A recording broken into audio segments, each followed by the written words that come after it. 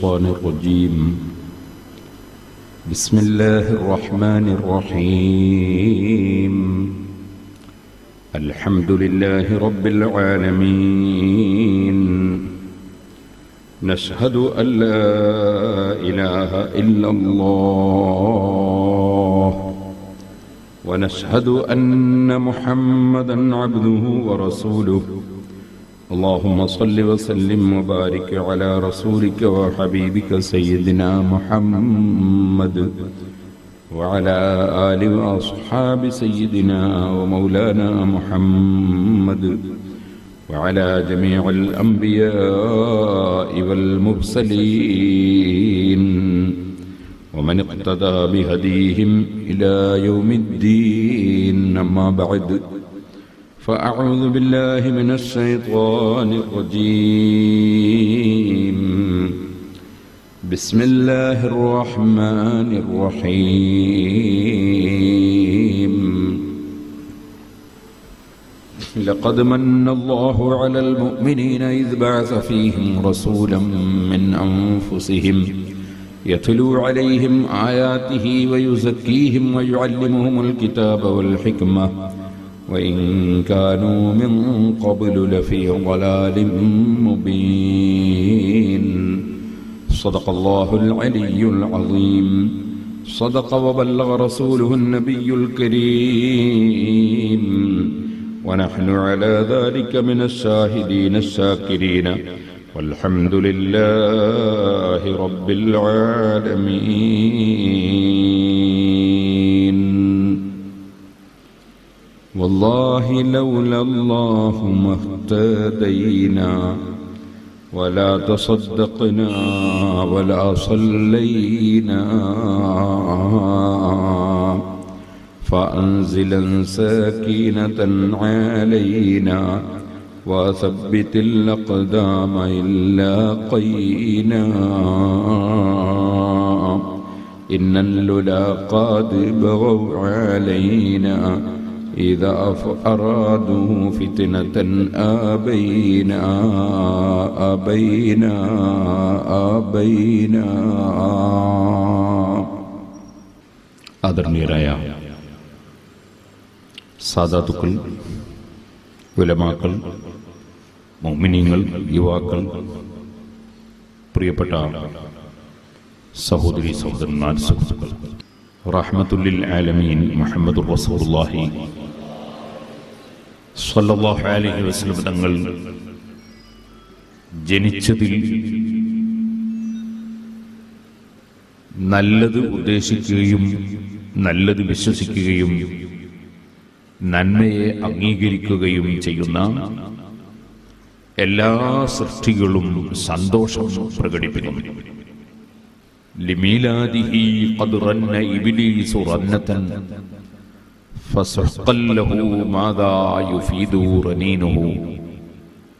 അഷ്റഫുൽ ഖൽഖ് സല്ലല്ലാഹു അലൈഹി വസല്ലം ജനിച്ചതിൽ ദുഃഖം പ്രകടിപ്പിച്ച ഒരേ ഒരു വ്യക്തി അത് ഇബിലീസ് മാത്രമാണ്. അഷ്റഫുൽ ഖൽഖ് സല്ലല്ലാഹു അലൈഹി വസല്ലം തങ്ങളെ അല്ലാഹു സുബ്ഹാനഹു വ തആല നിയോഗിച്ചത്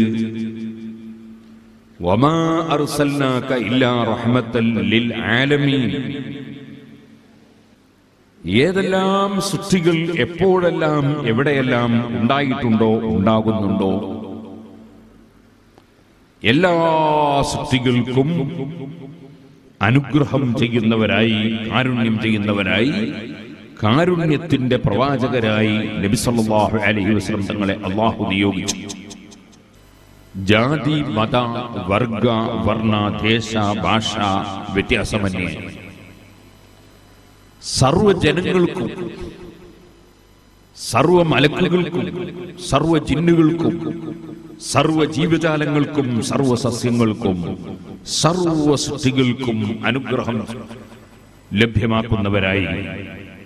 അനുഗ്രഹത്തിന്റെ നിമിത്തമായി മഹാനായ അഷ്റഫുൽ ഖൽഖ് മുഹമ്മദുർ റസൂലുള്ളാഹി സ്വല്ലല്ലാഹു അലൈഹി വസല്ലം തങ്ങളെ അല്ലാഹു തആല നിയോഗിച്ചു. ആ മുഹമ്മദ് നബി സല്ലല്ലാഹു അലൈഹി വസല്ലമ തങ്ങളുടെ ഉമ്മത്തുകളായി അള്ളാഹു സുബ്ഹാനഹു വ തആല നമ്മെ തിരഞ്ഞെടുത്തു. അഷ്റഫുൽ ഖൽഖ് സല്ലല്ലാഹു അലൈഹി വസല്ലമ തങ്ങളുടെ ഏറ്റവും വലിയ ബഹുമാനം പറയുന്നവർ മാത്രമാണ് അവിടുത്തെ ഉമ്മത്ത് അതുകൊണ്ടാണ് അഷ്ഹദു അല്ലാ ഇലാഹ ആരാധനക്കർഹൻ ഇല്ല എന്നത് അള്ളാഹുവിന്റെ ഏറ്റവും വലിയ മഹത്വം പറയലാണ് അത് സമ്മതിക്കലാണ് വിശ്വസിച്ച് പ്രഖ്യാപിക്കലാണ്.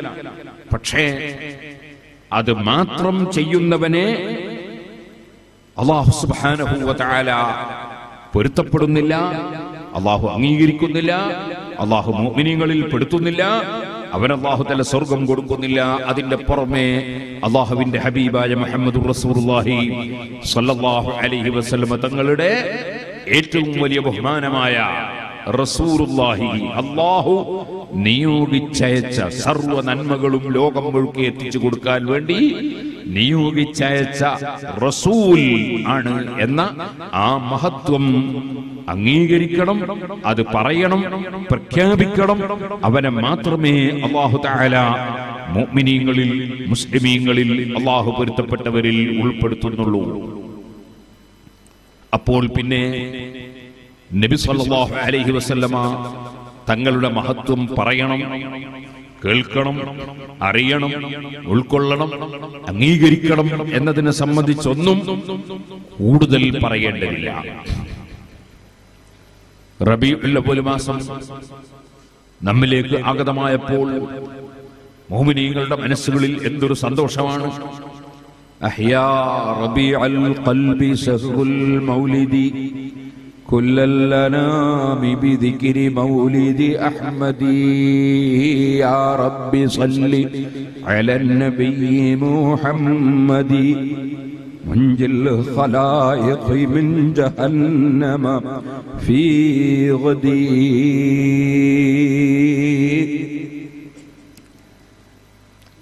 നബി സല്ലല്ലാഹു അലൈഹി വസല്ലം ജന്മമാസം വന്നപ്പോൾ മസ്- മൻ- മനുഷ്യന്റെ മനസ്സിന്റെ വസന്തം സജീവമാക്കി ആ മഹത്തായ മാസം.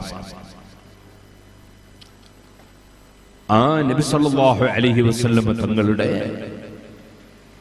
സന്താന പരമ്പരകളിൽപ്പെട്ട സയ്യിദന്മാര് ധാരാളം ഈ സ്റ്റേജിൽ ഇരിക്കുന്നു. അള്ളാഹു താല അവർക്കും നമുക്കും അള്ളാഹുവിന്റെ പൊരുത്തത്തിൽ ദീർഘായുസും ആഫിയത്തും ഹിമ്മത്തും തൗഫീഖും വർദ്ധിപ്പിച്ചു തരുമാറാകണം ഇവിടെ ബഹുമാനപ്പെട്ട ആദൂർത്തങ്ങൾ അവർ അള്ളാഹുവിന്റെ ദീനിലും സമൂഹത്തിനും രാഷ്ട്രത്തിനും ഉപകരിക്കുന്ന സ്ഥാപനം പടുത്തുയർത്തി വളർത്തിക്കൊണ്ടുവരാൻ വേണ്ടി ശ്രമിക്കുന്നു. അതിന് എല്ലാവരും സഹകരിച്ചു കൊടുക്കണം. എല്ലാവരും സഹായിച്ചു കൊടുക്കണം. എല്ലാവരും പങ്കുചേരണം.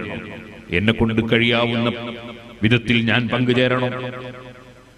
അങ്ങനെ ഓരോരുത്തർക്കും കഴിയുന്നത് പോലെ പങ്കുചേരണം. മഹാനായ അഷ്റഫുൽ ഹൽക്ക മുഹമ്മദ് റസൂലുള്ളാഹി സല്ലല്ലാഹു അലൈഹി വസല്ലമ തങ്ങളും അവിടുത്തെ അനുയായികളും ധാരാളം അധ്വാനിച്ചുകൊണ്ടാണ് ഈ പരിശുദ്ധ ദീനുൽ ഇസ്ലാം ഇവിടെ പ്രചരിപ്പിച്ചത്. നല്ല സ്വഭാവത്തോടുകൂടി മാർ أحدا أكثر تبسما من رسول من رسول الله صلى الله عليه وسلم صحابة പറഞ്ഞില്ലേ നബി സല്ലല്ലാഹു അലൈഹി വസല്ലം തങ്ങളെ പോലെ പുഞ്ചിരിക്കുന്ന വേറൊരാളെ ഞാൻ കണ്ടിട്ടില്ല കണ്ടാൽ നല്ല പുഞ്ചിരിയോടുകൂടിയാണ് നബി സല്ലല്ലാഹു അലൈഹി വസല്ലം തങ്ങൾ ആരെയും എതിരേൽക്കാറുള്ളത് സുബ്ഹാനല്ലാഹ് ഒരു ദിവസം അഷ്റഫുൽ സല്ലല്ലാഹു അലൈഹി വസല്ലം പള്ളിയിലിരിക്കുന്നു. പള്ളിയിലിരിക്കുന്ന സമയം സ്വാഭാവികമായും ഓരോരുത്തർ വരും ഇരിക്കും പോകും എന്നല്ലാതെ ആരും പ്രത്യേകം പരിഗണിക്കൂലല്ലോ. പള്ളിയിൽ എല്ലാവരും കണക്കല്ലേ? ഏത് രാജാവും ഏത് പ്രജയും ഏത് മന്ത്രിയും ഏത് പ്രധാനമന്ത്രിയും ഏത് പ്രസിഡന്റും ഏത് പണ്ഡിതനും ഏത് പാമരനും ഏത് സയ്യിദും ഏത് വ്യക്തിയും വന്നിട്ട് ഒന്നായി നിന്ന് യാതൊരു വ്യത്യാസമില്ലാതെ സ്വർണ കച്ചവടക്കാരനും വെള്ളിക്കച്ചവടക്കാരനും തുണിക്കച്ചവടക്കാരനും അതിനോട് തൊട്ട് മീൻ കച്ചവടക്കാരനും ഇറച്ചി കച്ചവടക്കാരനും പുല്ല് കച്ചവടക്കാരനും നെല്ല് കച്ചവടക്കാരനും അങ്ങനെ തുടങ്ങിയിട്ട് എല്ലാ ബിസിനസ്സുകാരും എല്ലാ തൊഴിലാളികളും എല്ലാ കൃഷിക്കാരും ജോലി ഉള്ളവനും ഇല്ലാത്തവനും കടം കിട്ടാനുള്ളവനും കൊടുക്കാനുള്ളവനും അങ്ങനെ തുടങ്ങിയിട്ട് ചെറിയവരും വലിയവരും എല്ലാവരും വന്നിട്ട് യാതൊരു വിവേചനവുമില്ലാതെ യാതൊരു ഏറ്റവ്യത്യാസമില്ലാതെ എല്ലാവരും ഒരുമിച്ച് തോളും തോളും തമ്മിൽ ചേർത്ത് വെച്ച് കഥമും കഥമും തമ്മിൽ ചേർത്ത് വെച്ച് ഇടയ്ക്ക് വിടവില്ലാതെ വളരെ കൃത്യമായി നബി സല്ലല്ലാഹു അലൈഹി വസല്ലം സഫ് ഒപ്പിക്കാൻ വേണ്ടി ഹദീസിൽ കാണാം. നബി സല്ലല്ലാഹു അലൈഹി വസല്ലം ഒരു വടി ഇങ്ങനെ നേരെ വെച്ചിട്ട് ആളുകളുടെ സഫ് ഒപ്പിക്കാറുണ്ടായിരുന്നു. ഇപ്പൊ പലരും നിസ്കരിക്കുന്ന സമയത്ത് സഫ് ശ്രദ്ധിക്കുന്നില്ല. ഓരോരുത്തർ ഓരോരുത്തരുടെ ഇഷ്ടം പോലെ വെക്കുകയാണ്.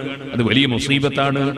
നബി സല്ലല്ലാഹു അലൈഹി വളരെ ഗൗരവത്തോടെ പറഞ്ഞ കാര്യമാണ്. നിസ്കരിക്കുന്ന സമയത്ത് സഫ് ഒപ്പിച്ചു വെച്ചോളണം. ചുമലും ചുമലും തമ്മിൽ ഒപ്പിച്ചു വെച്ചോളണം. കഥമും കഥമും തമ്മിൽ ഒപ്പിച്ചു വെച്ചോളണം. അങ്ങനെ നിങ്ങൾ ഒപ്പിച്ചു വെക്കുന്നില്ലെങ്കിൽ. നിങ്ങൾ മുസ്ലിം സമുദായത്തിലുള്ള ആൾക്കാരുടെ മനസ്സുകൾക്കിടയിൽ അള്ളാഹുത്തിലെ ഭിന്നിപ്പെട്ടു തരും. എന്ന് പറഞ്ഞിട്ടുണ്ട് വളരെ ഗൗരവമുള്ള വിഷയമാണ് സഫ് ഒപ്പിച്ച് നിൽക്കണം എന്നത്.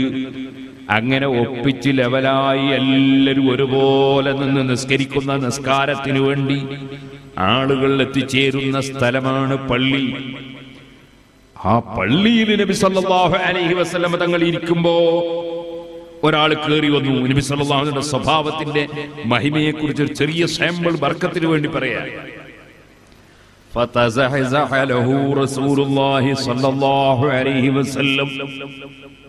ഇരിക്കുന്ന നബി സല്ലല്ലാഹു അലൈഹി വസല്ലം ഒരാൾ കേറി വന്നപ്പോൾ ആരാ കേറി വന്നത്? നബി സല്ലല്ലാഹു അലൈഹി വസല്ലമയുടെ ബാപ്പയോ ഉമ്മയോ? ആരുമല്ല അവരൊക്കെ വളരെ നേരത്തെ തന്നെ വിട പറഞ്ഞു പോയിട്ടുണ്ട്. അല്ലെങ്കിൽ അതുപോലെ കുടുംബ ബന്ധത്തിന്റെ പേരിൽ ആദരിക്കപ്പെടേണ്ട വ്യക്തിയല്ല. നബി സല്ലല്ലാഹു അലൈഹി വസല്ലം മുൻകാല കൃമികളായി കഴിഞ്ഞുപോയ അമ്പിയാക്കളല്ല. അവിടുത്തെ ശിഷ്യന്മാരെ കൂട്ടത്തിൽപ്പെട്ട ഒരു സാധാരണ ശിഷ്യൻ കയറി വന്നപ്പോൾ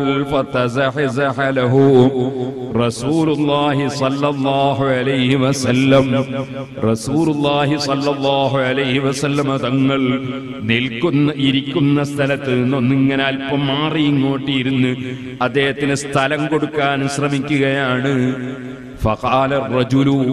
അപ്പൊ വന്ന പറഞ്ഞു യാ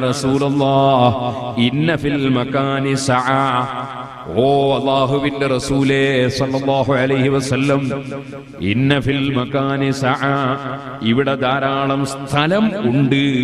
ഇവിടെ സ്ഥലത്തിൽ വിശാലതയുണ്ട്. ഇവിടെ തങ്ങൾ അതാ മാറിയിരുന്ന് സ്ഥലം ഉണ്ടാക്കി തരേണ്ട ആവശ്യം ഇല്ല. ആ സമയത്ത് നബി സല്ലല്ലാഹു അലൈഹി വസല്ലം പറഞ്ഞ വാക്കെന്താണ് ഫഖാല ഇന്നലിൽ മുസ്ലിമി ഹഖൻ ഇദാ റആഹു അഖൂഹു അൻ യതസഹസഹ ലഹു ഒരു മുസ്ലിമായ മനുഷ്യൻ കയറി വരുമ്പോൾ അവന് കിട്ടാനുള്ള അവകാശമാണ് അവന്റെ സഹോദരൻ അദ്ദേഹം കയറി വരുന്നത് കണ്ടാൽ. ഒരാൾ കയറി വരുന്നത് കണ്ടാൽ അദ്ദേഹത്തിന് സീറ്റ് കൊടുക്കാൻ ശ്രമിക്കുക എന്നത് അത് അദ്ദേഹത്തിന് കിട്ടാനുള്ള ഒരു അവകാശമാണ്. നിങ്ങൾ കയറി വരുമ്പോൾ നിങ്ങളുടെ അവകാശം ഞാൻ പരിഗണിച്ച് തന്നതാണ്. എന്താണ് അവിടുത്തെ സ്വഭാവം? എന്താണ് അവിടുന്ന് പഠിപ്പിക്കുന്ന സ്വഭാവം? ആ മഹാനായ മുഹമ്മദ് റസൂലുള്ളാഹി സല്ലല്ലാഹു അലൈഹി വസല്ലം. എല്ലാവർക്കും സർവ സൽ സ്വഭാവങ്ങളും പഠിപ്പിച്ചു കൊടുത്തു. ഏറ്റവും നല്ല സ്വഭാവമുള്ളവരാണ് നിങ്ങളിൽ എനിക്ക് ഏറ്റവും ഇഷ്ടം. ഇന്ന ഇലയ്യ യൗമൽ ഖിയാമതി അന്ത്യനാളിൽ ഞാനുമായി ഏറ്റവും സ്നേഹമുള്ളവൻ എനിക്ക് ഏറ്റവും സ്നേഹമുള്ളവൻ.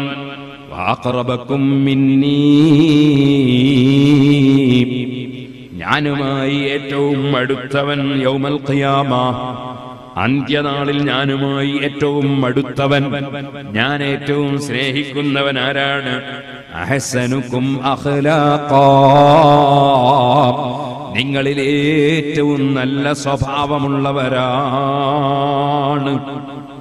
നല്ല സ്വഭാവമുള്ളവൻ വൈന്ന അപകടക്കും ഇലയ്യ ആ, ബക്കറ്റ് കൊണ്ട് വരുമ്പോ എല്ലാവരും നല്ല സ്വഭാവന ഓർക്കണം. അതൊരു നല്ല സ്വഭാവമാണ്.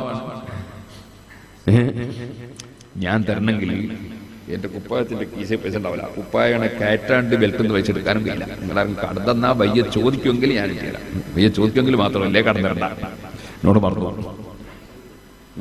സുന്നി കടത്ത നിൽക്കണ്ട് ബിസ്മില്ലാ ഓമ ചോദിച്ച് വാങ്ങിയില്ല നിങ്ങൾ കുറ്റക്കാരൻ ഞാൻ കുറ്റക്കാരൻ എന്നോട് പറഞ്ഞു وإن أبغضكم إلي وأبعدكم مني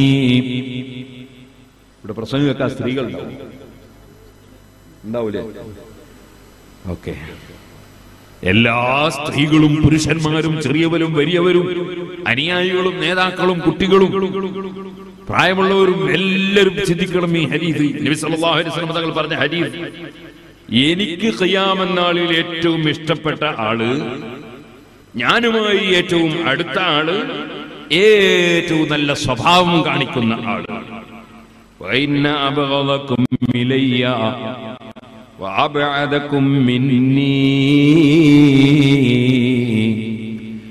എനിക്ക് ഏറ്റവും വെറുപ്പുള്ള ആൾ ഞാനുമായി ഏറ്റവും അകന്നു നിൽക്കുന്ന ആൾ അകന്നു പോയ ആൾ മസാബികും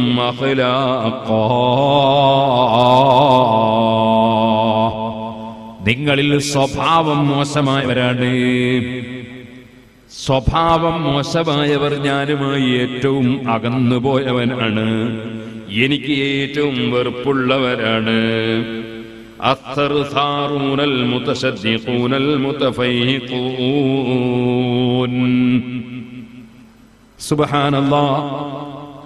സംസാരിക്കുന്ന സമയത്ത് സത്യം എന്താണെന്ന് നോക്കാതെ വായാടിയായി സംസാരിക്കുന്നവരും സൂക്ഷ്മതയില്ലാതെ കാര്യങ്ങൾ പറയുന്നവരും പറയുന്ന കാര്യങ്ങൾ അതേ അള്ളാഹുവിന്റെ പൊരുത്തം കരുതി സംസാരിക്കാത്തവരും അങ്ങനെയുള്ള ഏതെല്ലാം കക്ഷികളുണ്ടോ? സ്വഭാവം മോശമായ കക്ഷികൾ ആരുണ്ടോ? അവരാണ് ഞാനുമായി അകന്നുപോയവർ എനിക്ക് ഏറ്റവും വെറുപ്പുള്ളവർ. അപ്പൊ സുഹൃത്തുക്കളെ ഈ മഹത്തായ റബീഉൽ അവ്വൽ മാസം വരുമ്പോ നമ്മളെല്ലാവരും നിങ്ങളൊക്കെ ഈ പാവപ്പെട്ട എന്റെ സ്വഭാവം നന്നാകാൻ വേണ്ടി പ്രാർത്ഥിക്കണം. നമ്മളെല്ലാവരും നമ്മുടെ സ്വഭാവം നന്നാക്കുമെന്ന് പ്രതിജ്ഞ എടുക്കണം. ഭാര്യമാരോട് വളരെ മോശമായ വളരെ ഗൗരവത്തിൽ സംസാരിക്കുന്ന ഭർത്താക്കന്മാരുണ്ട്. അത് പാടുള്ളതല്ല.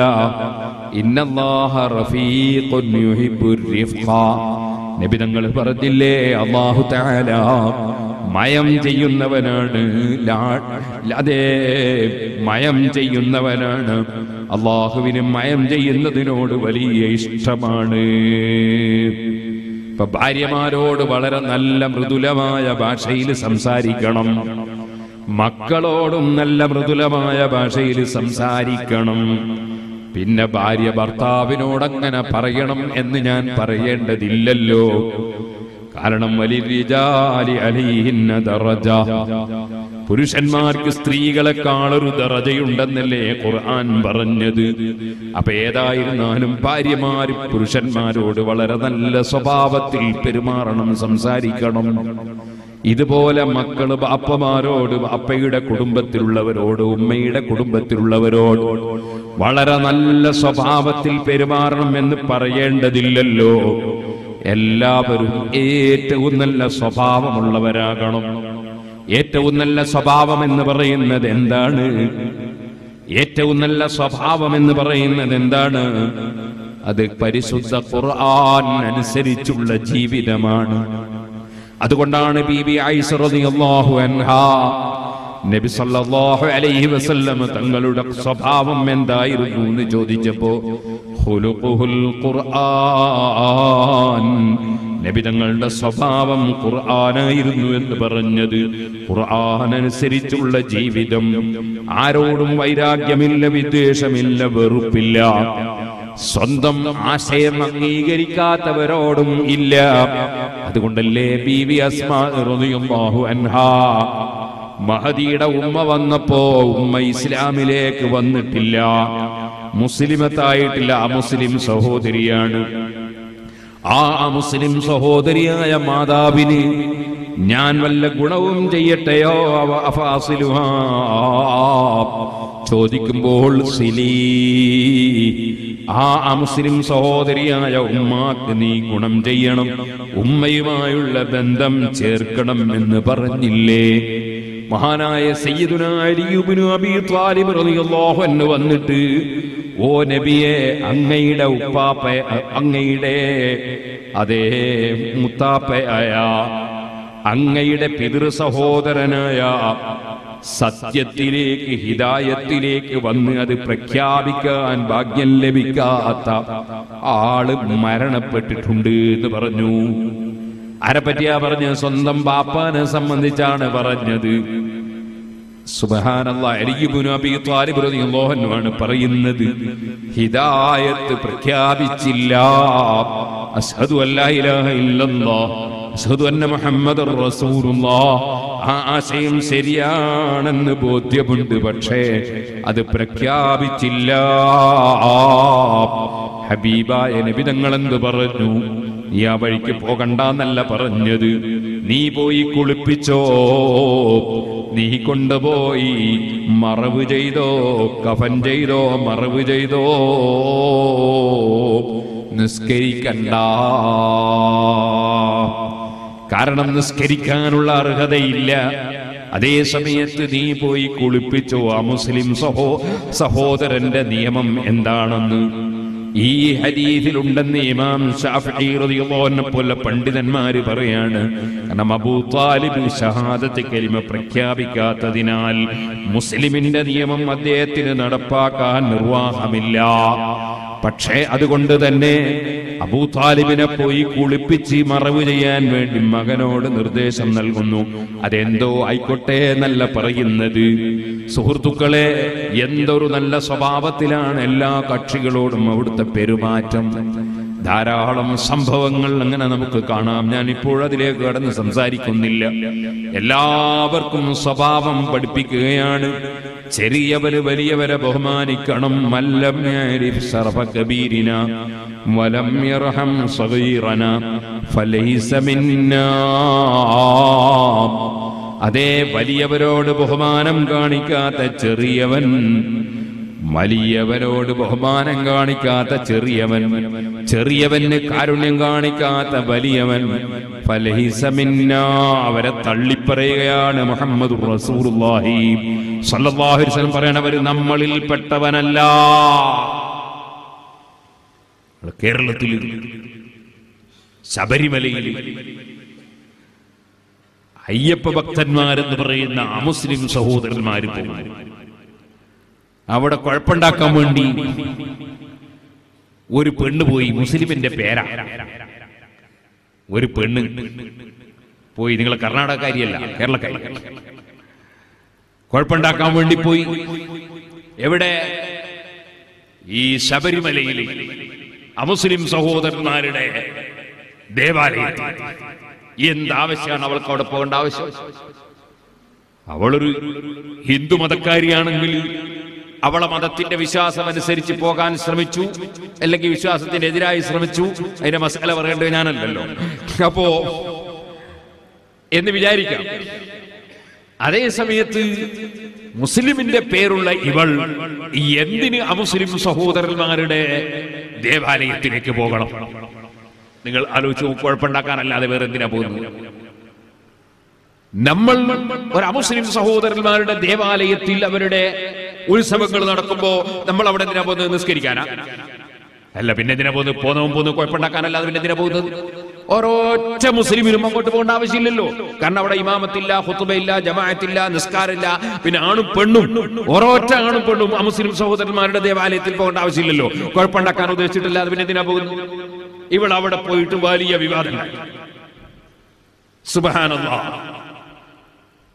ഒരു നേതാവ് പറഞ്ഞതായി എന്നോട് വിദേശത്ത് പോയപ്പോ എന്നോട് ഒരാൾ പറഞ്ഞു. ഒരു വലിയ നേതാവ് ഏതോ പാർട്ടിയുടെ ഏതോ ഒരു നേതാവ് പറഞ്ഞതായിട്ട് പറഞ്ഞു. ഈ സഹോദരിയോട് ഈ മുസ്ലിമിന്റെ പേരുള്ള പെണ്ണിനോട് മുസ്ലിം പണ്ഡിതന്മാർ ഉപദേശിക്കണം എന്ന് പറഞ്ഞതായി അറിയാൻ സാധിച്ചു. ഞാൻ പറയട്ടെ അത് നമ്മളിൽപ്പെട്ടതല്ല മിന്ന നബി സല്ലല്ലാഹു അലൈഹി തള്ളി പറഞ്ഞു കണ്ടില്ലേ? ആരെ? ഇങ്ങനത്തെ ഒരു കാര്യവും ചെയ്തിട്ടില്ല. വലിയവരെ ബഹുമാനിക്കാത്തവരെ ചെറിയവരോട് കാരുണ്യം കാണിക്കാത്തവരെ ഫലൈസ അത് നമ്മളിൽപ്പെട്ടതല്ല എന്ന്. അതിന്റെ കാരണം പെട്ടതല്ലാത്ത പെട്ടല്ല എന്ന് എന്നെ പറയണം. അല്ലെ നമ്മളെ പ്രസ്ഥാനത്തിൽ ബാധിക്കും. നമ്മളെ പ്രസ്ഥാനത്തിൽ ബാധിക്കും. അതുകൊണ്ട് തന്നെ നമ്മളെ പ്രസ്ഥാനത്തിന്റെ എല്ലാവർക്കും അറിയാം. മുസ്ലിം സ്ത്രീകൾ പോലും അല്ലെ മുസ്ലിം സ്ത്രീകൾ തന്നെ മുസ്ലിമീങ്ങളുടെ പള്ളിയിൽ തന്നെ ജുമാക്കും ജമാഅത്തിനും തന്നെ പോകലുമില്ല പോകേണ്ടതുമില്ല. മറിച്ച് വീട്ടിൽ വെച്ച് നിസ്കരിക്കലാണ് മുഹമ്മദ് അലൈഹി വസല്ലം പഠിപ്പിച്ചതനുസരിച്ചാണ്. അള്ളാഹുവിന്റെ റസൂലിനെ അംഗീകരിക്കുന്ന മുസ്ലിം സ്ത്രീകളൊക്കെ റസൂലുള്ളാഹിനെ അംഗീകരിക്കാതെ മൗലൈമാർ അംഗീകരിക്കുന്നവരുണ്ടാവും അവരെ കാര്യം ഞാൻ പറയുന്നില്ല. അത് പറഞ്ഞ പോലെ തന്നെ നബി സല്ലല്ലാഹു നിങ്ങൾ അംഗീകരിക്കാതെ അള്ളാഹുവിന്റെ റസൂലിന്റെ പ്രസ്താവനയെ അംഗീകരിക്കാതെ പോയവരാണ്. അവരും നമുക്ക് ബാധകമുള്ളതല്ല. അഷ്റഫുൽ സല്ലല്ലാഹു അലൈഹി വസല്ലം തങ്ങളെ അംഗീകരിക്കുന്ന മുസ്ലിം സ്ത്രീകൾ പള്ളിയിലോ മൈതാനിയിലോ മദ്രസയിലോ എവിടെയാണെങ്കിലും ജുമാ ജമാഅത്തിന് വേണ്ടി പുറപ്പെട്ടു പോകാറില്ല. ഇമാം ഷാഫി റളിയല്ലാഹു അൻഹു പറഞ്ഞു നബി സല്ലല്ലാഹു അലൈഹി വസല്ലമയുടെ വീട്ടിൽ വെച്ച് ഒരുപാട് സ്ത്രീകളും ഭാര്യയും പെൺകുട്ടികളും ഭാര്യമാരും ഒക്കെ ഉണ്ടായിട്ട് ഫമാ ഇലാ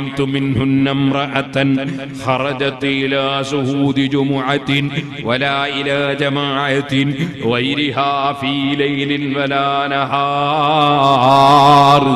രാത്രിയോ പകലോ ഒരൊറ്റ ജമാഅത്തിനും ഒരൊറ്റ വെള്ളിയാഴ്ചത്തെ ജുമാക്കും.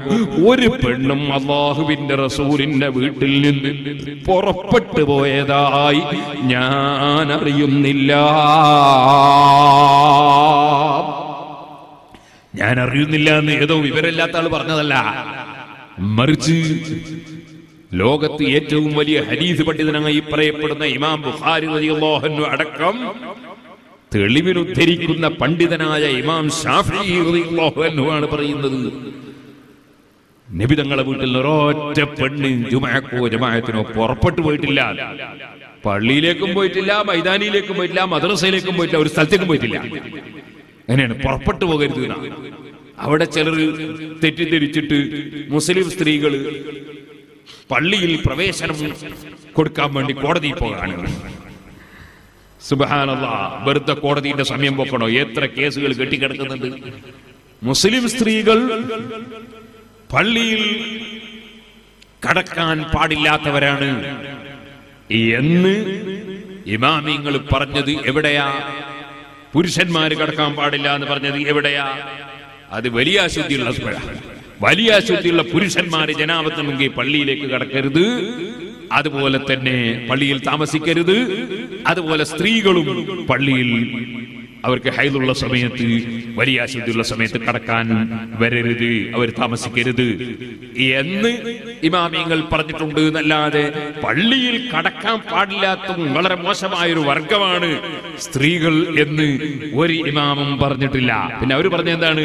ജുമാജമായത്തിന് വേണ്ടി വീട്ടിൽ നിന്ന് പുറപ്പെട്ടു പോകാൻ പാടില്ല. ആദ്യം പള്ളിയിലേക്ക് കടക്കണമെങ്കിൽ ആദ്യം വീട്ടിൽ നിന്ന് പുറപ്പെടണ്ടേ? വീട്ടിൽ നിന്ന് പുറപ്പെട്ടു പോകാൻ പാടില്ല. വീട്ടിൽ നിന്ന് പുറപ്പെടാൻ പാടില്ല ജുമാജമായത്തിന് വേണ്ടി. കാരണം നബി സല്ലല്ലാഹു അലൈഹി വസല്ലം പറഞ്ഞത് ആവശ്യത്തിന് വേണ്ടി പുറത്തു പോകുന്നത് നിങ്ങൾക്ക് അനുവദിക്കപ്പെട്ടിരിക്കുന്നു എന്നാണ്. ജുമാ ജമാഅത്തിന് പോകൽ ആവശ്യത്തിൽപ്പെട്ടതല്ല. കാരണം നബി സല്ലല്ലാഹു അലൈഹി വസല്ലം നാവ് കൊണ്ട് വ്യക്തമായി പറഞ്ഞു സ്ത്രീകൾക്ക് നിസ്കരിക്കാൻ വീടാണ് വീടാണ് എന്ന് പറയുമ്പോ ആ വീടും വിട്ടു പോകൽ പിന്നെ എങ്ങനെ? ആവശ്യം അനാവശ്യമില്ല. അനാവശ്യത്തിന് പോകാൻ സമ്മതിച്ചിട്ടില്ല അനുവദിക്കപ്പെട്ടിട്ടില്ല. ആവശ്യത്തിന് പോകാൻ മാത്രമാണ് അനുവദിച്ചത്. ഇവിടെ വയത് പറ- അത് കേൾക്കാൻ വേണ്ടി വന്ന സ്ത്രീകളുണ്ട്. അവർ ആവശ്യത്തിന് വേണ്ടി വന്നവരാണ്. അനാവശ്യത്തിന് വേണ്ടി പുറപ്പെടാൻ അനുവദിച്ചിട്ടില്ല. വെറുതെ സ്ത്രീകൾ ഇങ്ങനെ ഇതേ സമയത്ത് ഈ രാത്രി സമയത്ത് ഇറങ്ങിയിട്ട് ഇവിടെ മൈതാനിൽ ഇങ്ങനെ കറങ്ങുകയാണെങ്കിൽ പാടില്ല. അത് അനാവശ്യമാണ് അനാവശ്യത്തിന് വേണ്ടി പുറപ്പെട്ടു പോകാൻ അനുവദിച്ചിട്ടില്ല. അത് മൈതാനിയിലാണെങ്കിലും ശരി പള്ളിയിലാണെങ്കിലും ശരി മദ്രസയിലാണെങ്കിലും ശരി പള്ളിക്ക് മാത്രം ഒരു പ്രത്യേക നിയമം അല്ല. അതുകൊണ്ട് തന്നെ സുന്നത്തീവായത്തിന്റെ പള്ളിയിൽ സ്ത്രീകളെ കടത്തണം എന്ന് പറഞ്ഞ ഒരു കേസിന് പോകേണ്ട യാതൊരു ആവശ്യവും ഇല്ല. ഇമാമിങ്ങൾ അങ്ങനെ പള്ളി കടന്നുകൂടാത്ത ഒരു വർഗമാണ് സ്ത്രീകളെന്നല്ല പറഞ്ഞത്. വീട്ടിൽ നിന്ന് ആവശ്യമില്ലാതെ പുറപ്പെടാൻ പാടില്ല. അതേ സമയത്ത് സ്ത്രീകളെ സംബന്ധിച്ചിടത്തോളം അവരെ വീട്ടിൽ നിന്ന് നിസ്കരിക്കാനാണ് ഹൈറ് വിധങ്ങൾ പഠിപ്പിച്ചത് കൊണ്ട് നിസ്കാരത്തിന് വേണ്ടി പുറപ്പെടൽ ആവശ്യത്തിന് വേണ്ടിയുള്ള പുറപ്പെടലല്ല. അനാവശ്യത്തിന് വേണ്ടി ബലസാൻ വേണ്ടിയുള്ള പുറപ്പെടലാണ്. അതൊരിക്കലും അനുവദിച്ചുകൂടാ. ഇരിക്കട്ടെ ഞാൻ പറഞ്ഞു വന്നത് അഷ്റഫുൽ ഖൽഖ് സല്ലല്ലാഹു അലൈഹി വസല്ലം തങ്ങൾ പഠിപ്പിച്ച സ്വഭാവം. നബിതങ്ങൾ പഠിപ്പിച്ച ദീൻ അത് അംഗീകരിക്കാത്തവരെ തള്ളിപ്പറയുകയാണ് നബി സല്ലല്ലാഹു അലൈഹി വസല്ലം. ഇതുപോലെ അവിടുന്ന് തള്ളിപ്പറഞ്ഞത് കണ്ടോ നിങ്ങൾ? മന്ദ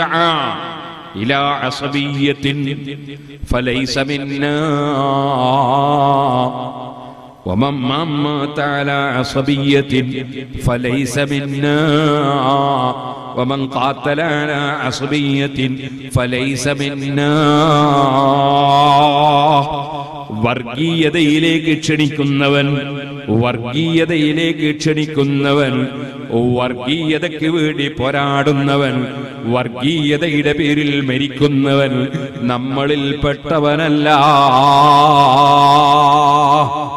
അപ്പൊ സമുദായങ്ങളുടെ ദേവാലയങ്ങളിൽ പോയി വർഗീയത ഉണ്ടാക്കുന്ന കക്ഷികൾ നമ്മളിൽപ്പെട്ടവരല്ല അത് ഞാൻ പറഞ്ഞതല്ല. നബി സല്ലല്ലാഹു അലൈഹി വസല്ലം നമ്മളെന്നെ പഠിപ്പിച്ചാണത്. നമ്മളിൽപ്പെട്ടവരല്ല. അപ്പോ ആ സ്ത്രീയെ ഉപദേശിക്കാനുള്ള ബാധ്യതയോ കടപ്പാടോ മുസ്ലിം പണ്ഡിതന്മാർക്കില്ല. കാരണം അത് നമ്മളിൽപ്പെട്ടതല്ല. നമ്മൾ ഉത്ബോധനം നടത്തുന്നത് ഈമാനുള്ളവർക്ക് ഉപകരിക്കും എന്ന നിലക്കാണ്. ഈമാനുള്ളവർക്ക് ഉത്ബോധനം ഉപകരിക്കും. വാൽ പറഞ്ഞു കൊടുത്താൽ അവർ കേൾക്കും. അവരെ ഉപദേശിച്ചാൽ അവർ സ്വീകരിക്കും. ഈമാനുള്ളവർ ഈമാനില്ലാത്തവരോട് എന്ത് പറയാനാ? അപ്പൊ മഹാനായ മുഹമ്മദ് റസൂലുള്ളാഹി സല്ലല്ലാഹു അലൈഹി വസല്ലം ഏറ്റവും വലിയ ഉത്ബോധനം നടത്തിയ ഒരു വിഷയം സ്വഭാവം നന്നാക്കലാണ്. പരിശുദ്ധ ഖുർആൻ പഠിപ്പിച്ചതനുസരിച്ച് വർഗീയതയില്ലാതെ ആരെയും ആക്രമിക്കാതെ ഇങ്ങോട്ട് തെറ്റ് ചെയ്താൽ പോലും അങ്ങോട്ട് നന്മ ചെയ്തുകൊണ്ട് ഇത്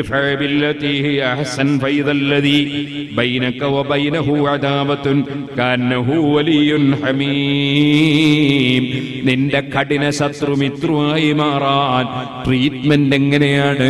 ചികിത്സ എങ്ങനെയാണ്? ഖുർആൻ പറയുന്നത് ഇങ്ങോട്ട് തെറ്റ് ചെയ്തവൻ ഇങ്ങോട്ട് തിന്മ ചെയ്തവന് അങ്ങോട്ട് നന്മ കൊണ്ട് പ്രതികരിക്കുക. ഇങ്ങോട്ട് തിന്മ ചെയ്തവനോട് അങ്ങോട്ട് നന്മ കൊണ്ട് പ്രതികരിക്കുക. നിന്റെ കഠിന ശത്രു ഉറ്റമിത്രമായേക്കും സുഹൃത്തുക്കളെ ഖുർആൻ പഠിപ്പിച്ച ഈ സ്വഭാവം ഇനി ഞാൻ എന്റെ യുവാക്കളോട് പറയട്ടെ. ബാപ്പയും ഉമ്മയും ഒക്കെ ജീവിച്ചിരിപ്പുള്ളവരോട് പറയട്ടെ. ബാപ്പ ഉമ്മ മരിച്ചുപോയവരോടും പറയട്ടെ. നമ്മൾ ഏറ്റവും വലിയ നന്ദി ചെയ്യേണ്ടത് അള്ളാഹുവിനാണല്ലോ. ആ നന്ദി ചെയ്യാൻ പറഞ്ഞ ഉടനെ അള്ളാഹു കൂട്ടിപ്പറഞ്ഞത് ആരെയാണ്? അനിഷ്കുറുലി വലിവാലിതൈ മാതാപിതാക്കൾക്ക് നന്ദി ചെയ്യണം. ബാപ്പ ഉമ്മക്ക് നന്ദി ചെയ്യണം. ഉപ്പാപ്പ ഉമ്മാമാക്ക് നന്ദി ചെയ്യണം. അതേ സ്വന്തം ബാപ്പയെയും ഉമ്മയെയും ഉപ്പാപ്പയെയും ഉമ്മാമയെയും വളരെ നന്ദി ചെയ്തുകൊണ്ട് തന്നെ നമ്മൾ അവരോട് പെരുമാറണം. ഒരിക്കലും ഒരു ഉമ്മാന്റെ മനസ്സിൽ മകനെ കുറിച്ചൊരു വിഷമം തോന്നിപ്പോകരുത്. മകളെ കുറിച്ച് വിഷമം തോന്നിപ്പോകരുത്. ബാപ്പാന്റെ മനസ്സിൽ അതാ മകന്റെ അല്ലെങ്കിൽ മകന്റെ മകന്റെ ആരുടെയും പെരുമാറ്റത്തിൽ ഒരു വിഷമം തോന്നിപ്പോകരുത്. അതേ ഖുർആൻ ആവർത്തിച്ച് ആവർത്തിച്ച കാര്യം പറഞ്ഞിട്ട് നിങ്ങൾ കണ്ടില്ലേ? വലാത്ത ഉഫിൻ അവരെ മനസ്സിന് ക്ലേശമുണ്ടാക്കുന്ന ഒരക്ഷരം പോലും സംസാരിച്ചു പോകരുത്. അതേ വലാ തൻഹറുമാ എന്റെ പ്രിയപ്പെട്ട യുവാക്കളെ ഹബീബായ നബി സല്ലല്ലാഹു അലൈഹി വസല്ലമ തങ്ങളെ പ്രിയം വെച്ച ചെറുപ്പക്കാരെ ആ ഹബീബായ നബി തങ്ങൾ ഖുർആാനോതി നമുക്ക് സ്വഭാവം പഠിപ്പിക്കുകയാണ്. ഒരിക്കലും ഉമ്മാനോട് ഗൗരവത്തിൽ സംസാരിക്കരുത് ബാപ്പയോട് ഗൗരവത്തിൽ സംസാരിക്കരുത്. ഒരിക്കലും ഒരിക്കലും തന്നെ ഗൗരവത്തോടെ ബാപ്പ ഉമ്മമാരോട് ഒരു വാക്ക് പറഞ്ഞു പോകരുത്.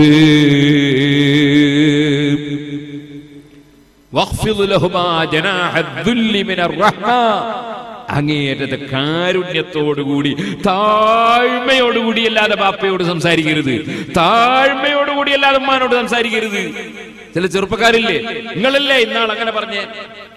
നിങ്ങളല്ലേ അടപ്പുണ്ടാന്ന് പറഞ്ഞ്? ഇങ്ങനൊക്കെ ബാപ്പാനോട് ഉമ്മാനോട് പറയാ. പറഞ്ഞിട്ടുണ്ടെങ്കിൽ തന്നെയും പറയാൻ പാടില്ല. ഇനി ബാപ്പ പറഞ്ഞ ബാപ്പാനോട് മറന്നുപോയി. അല്ലെ ഉമ്മാനോട് പറഞ്ഞ ഉമ്മാനോട് മറന്നുപോയി. എന്നാൽ പോലും ആ ശൈലി പറയാൻ പാടില്ല. പിന്നെ പറയുമ്പോ വളരെ ലഘുവായി വളരെ ലളിതമായി ഉമ്മ ഇന്നാളൊരു ദിവസം അവിടെ പോണോന്ന് എന്നോട് പറഞ്ഞിരുന്നു. നല്ല കുറച്ച് പുഞ്ചിരിച്ചോണ്ടാ പറഞ്ഞത് ഉമ്മ ഇന്നാളൊരു ദിവസം അവിടെ പോണോന്ന് എന്നോട് പറഞ്ഞിരുന്നു. ഉമ്മാനോട് മറന്നിട്ടുണ്ടാവും എനിക്ക് തോന്നുന്നു. ഉമ്മ പറഞ്ഞോണ്ട് ഞാൻ പോയല്ലേ ഞാൻ പോകില്ലായിരുന്നു ഇങ്ങനെ പറയാവൂ. നേരെ പറഞ്ഞു നിങ്ങളല്ലേ എന്നാ പോണോന്ന് പറഞ്ഞേ. ആ ശൈലിയെ ഉപയോഗിക്കാൻ പാടില്ല. വളരെ ലാളിത്യത്തോടുകൂടി വളരെ വിനയത്തോടുകൂടിയല്ലാതെ ബാപ്പ ഉമ്മയോട് സംസാരിച്ചുകൂടാ? അതേപോലെ തന്നെ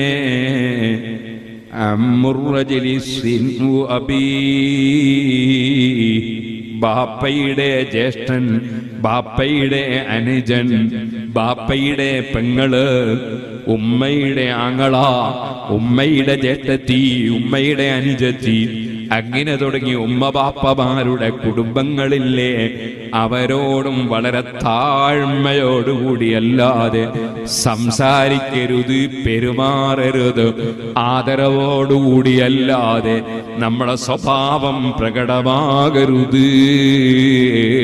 ഖുർആാനും ഹദീസും പഠിപ്പിക്കുന്ന സ്വഭാവം ജീവിതത്തിൽ പകർത്തുമ്പോഴാണ് അഹസനുക്കും നല്ല സ്വഭാവമുള്ളവനായി മാറുന്നത് ഇതുപോലെ പഠിപ്പിക്കുന്ന ഗുരുനാഥന്മാർ അത് പണ്ഡിതനാകട്ടെ അല്ല പാമരനാകട്ടെ പഠിപ്പിക്കുന്ന ഗുരുനാഥൻ മുസ്ലിമാകട്ടെ അമുസ്ലിമാകട്ടെ പഠിപ്പിക്കുന്നത് കിതാബാകട്ടെ സയൻസ് ആകട്ടെ. പഠിപ്പിക്കുന്ന ഗുരുനാഥനോട് ആദരവോടെ പെരുമാറണം പ്രായമുള്ളവരോട് ആദരവോടെ പെരുമാറണം അതുപോലെ നാട്ടിലുള്ള കാരണവന്മാരില്ലേ പള്ളിക്കമ്മറ്റിയുടെ ഭാരവാഹികൾ മദ്രസയുടെ ഭാരവാഹികൾ. എന്താണ് ആ വാക്കിന്റെ അർത്ഥം എന്ന് ചിന്തിച്ചിട്ടുണ്ടോ? ഭാരവാഹികൾ ഭാരം വഹിക്കുന്നവർ വെയിറ്റ് താങ്ങുന്നവർ ഒരു മഹല്ലത്തിന്റെ വെയിറ്റ് താങ്ങുന്നവർ.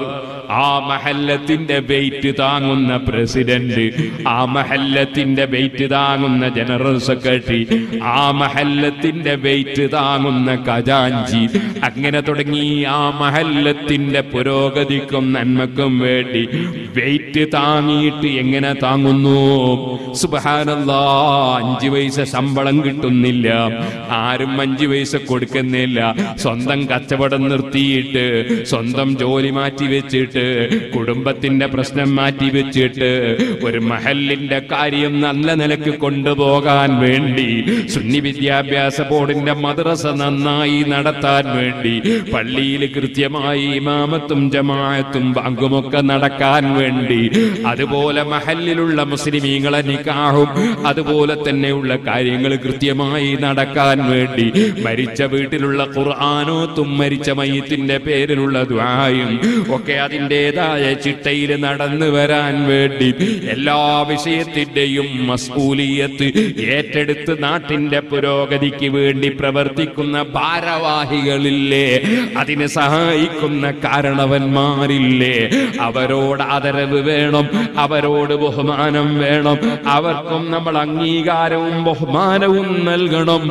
നമ്മൾ ചിലപ്പോ ചെറുപ്പക്കാരാകുമ്പോ എന്റെ യുവാക്കളെ എടുത്തുചാട്ടം വന്നു പോകും.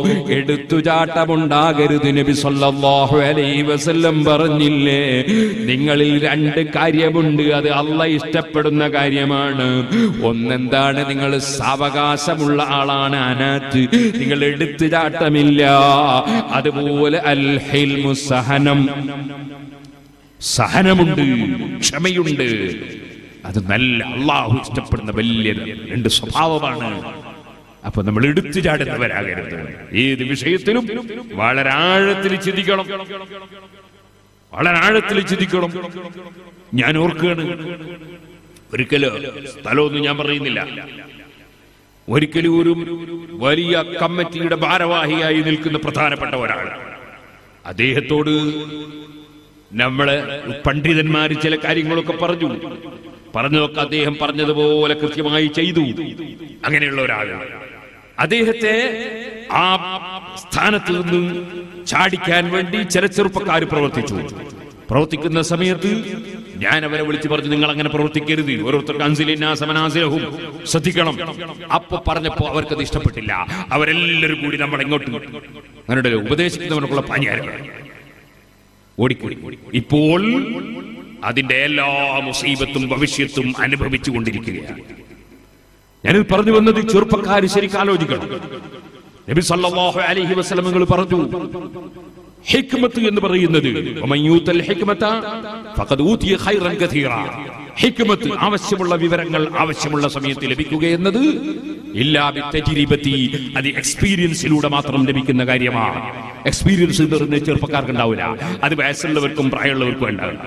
അപ്പൊ പ്രായമുള്ളവരും വലിയവരും പറയുന്നത് ചെറുപ്പക്കാർ ചെവിക്കൊള്ളണം. അതാണ് നല്ല സ്വഭാവം എന്ന് പറയുന്നത്. അത് നമ്മൾ വളരെ നന്നായി ശ്രദ്ധിക്കേണ്ട ഒരു വിഷയമാണ്. എക്സ്പീരിയൻസ് നിബിധങ്ങൾ വെറുതെ പറഞ്ഞതല്ല സ്വഭാവം പഠിപ്പിച്ചതാ.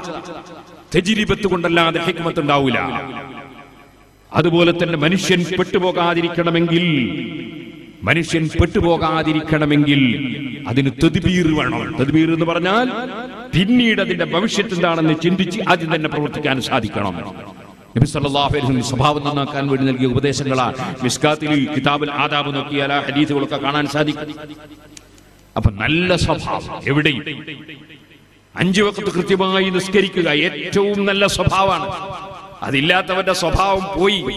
ചിലരുണ്ടല്ലോ നല്ല സ്വഭാവം നിസ്കരിക്കൂലെന്നേ ഉള്ളൂ. അടച്ചവനെ ഇങ്ങനെ നല്ല സ്വഭാവമാണ് നിസ്കരിക്കൂലെന്നേ ഉള്ളൂ.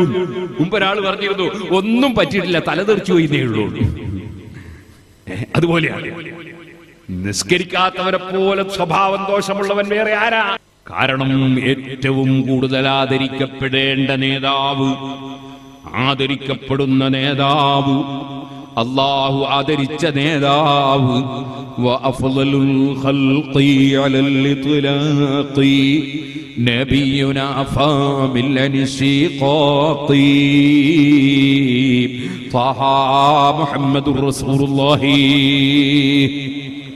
ആ റസൂറുല്ലാഹി സല്ലല്ലാഹു അലൈഹി വസല്ലമ തങ്ങളുടെ പേരിൽ ദിവസേന അഞ്ചു നേരം സലാത്ത് ചൊല്ലൽ വുജൂബാണ്. അത് നിസ്കാരത്തിലാണ്. ആ നബി തങ്ങളെ അഞ്ചു നേരം വിളിച്ച് സലാം പറയൽ നിർബന്ധമാണ്. അത് നിസ്കാരത്തിലാണ്. അങ്ങനെ അഞ്ച് നേരം നബി സല്ലല്ലാഹു അലൈഹി വസല്ലമ തങ്ങളുടെ പേരിൽ സ്വലാത്തിയുല്ലൽ വുജൂബ്. നബി തങ്ങളെ വിളിച്ച് അസ്സലാമു അലൈക അയ്യുഹൻ നബിയോ സലാമുൻ അലൈക അയ്യുഹൻ നബിയോ എന്നെങ്കിലും പറയൽ വുജൂബ്. അങ്ങനെ ലോകത്ത് ആകെ ലോകത്ത് അള്ളാഹുവിന്റെ സൃഷ്ടികളിൽ സലാം പറയൽ വുജൂബായ ഒരേ ഒരു നേതാവ് മുഹമ്മദ്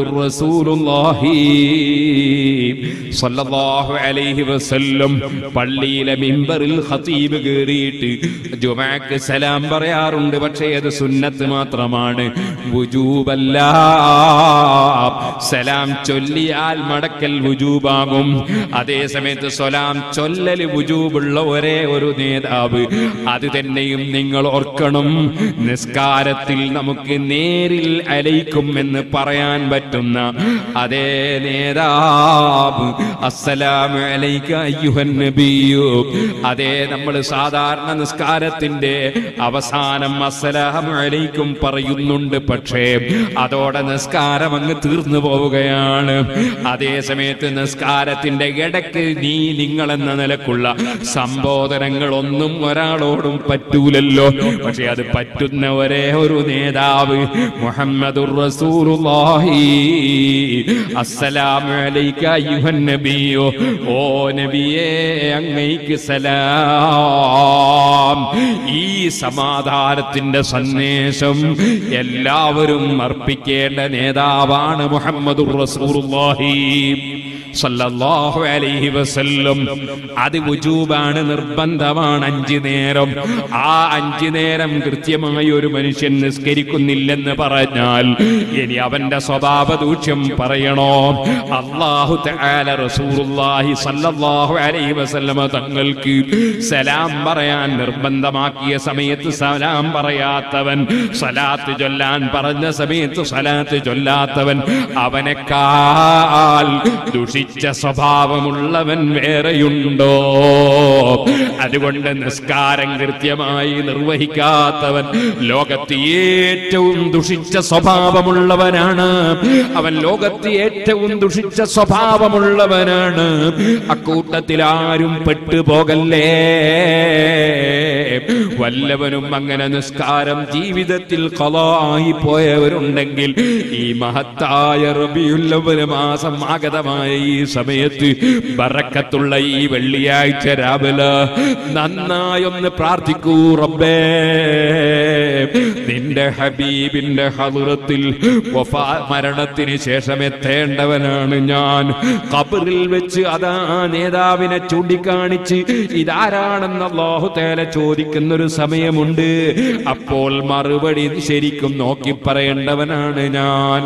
പോരാ മരിക്കുന്ന സമയത്ത് എന്റെ ആത്മാവ് പിടിച്ചുകൊണ്ടു പോകുമ്പോ ഹബീബായ ലഭിതങ്ങളുടെ ആത്മാവിന്റെ സഹായം ലഭിക്കേണ്ടവനാണ് ഞാൻ. പോരാ മഹസറിലെത്തിയാലും അവിടുത്തെ ശഫായത്ത് കിട്ടേണ്ടവനാണ് ഞാൻ. അവിടുന്ന് അവിടുത്തെ ശഫായത്ത് കൊണ്ട് രക്ഷപ്പെടേണ്ടവനാണ് ഞാൻ. വസ്തഗ്ഫിർ മികവലിൽ മുഗ്മിനീനം മുഅ്മിനീന വൽ മുഅ്മിനാത്ത് ഈമാനുള്ളവരെ ദോഷം പൊറുക്കാൻ തങ്ങൾ പറയണേ. എന്ന് ഖുർആൻ തന്നെ റബ്ബ് തന്നെ അതാ നബിതങ്ങളോട് പറയുമ്പോ ഈമാനുള്ള നമ്മൾക്ക് മുഴുവനും ദോഷം പൊറത്തു കിട്ടാൻ വേണ്ടി നബി സല്ലല്ലാഹു അലൈഹി വസല്ലമ തങ്ങളുടെ റെക്കമെന്റ് ആവശ്യമല്ലയോ? അനിവാര്യമല്ലയോ? ആ നബി റെക്കമെന്റ് റെക്കമെന്റ് കിട്ടേണ്ടവനാണ് ഞാൻ. അങ്ങനത്തെ എന്നോട് അള്ളാഹു തന്നെ. അഞ്ചു നേരം സലാം പറയാൻ പറഞ്ഞിട്ട് റസൂറുള്ളാക്ക് സലാം പറയാത്ത ഞാൻ. സലാത്ത് എല്ലാരും പറഞ്ഞിട്ട് കൃത്യമായി സലാത്ത് ചൊല്ലാത്ത ഞാൻ. ഏറ്റവും ദുഷിച്ച സ്വഭാവക്കാരനുമായി പോയി ഈ റബിയുല്ലവലിൽ നബിതങ്ങളെ സ്നേഹിക്കുന്ന എന്നെ കൃത്യമായി നിസ്കരിക്കുന്നവരാക്കണേ എന്ന് പ്രാർത്ഥിക്കണേ മുമ്മിനീങ്ങളെ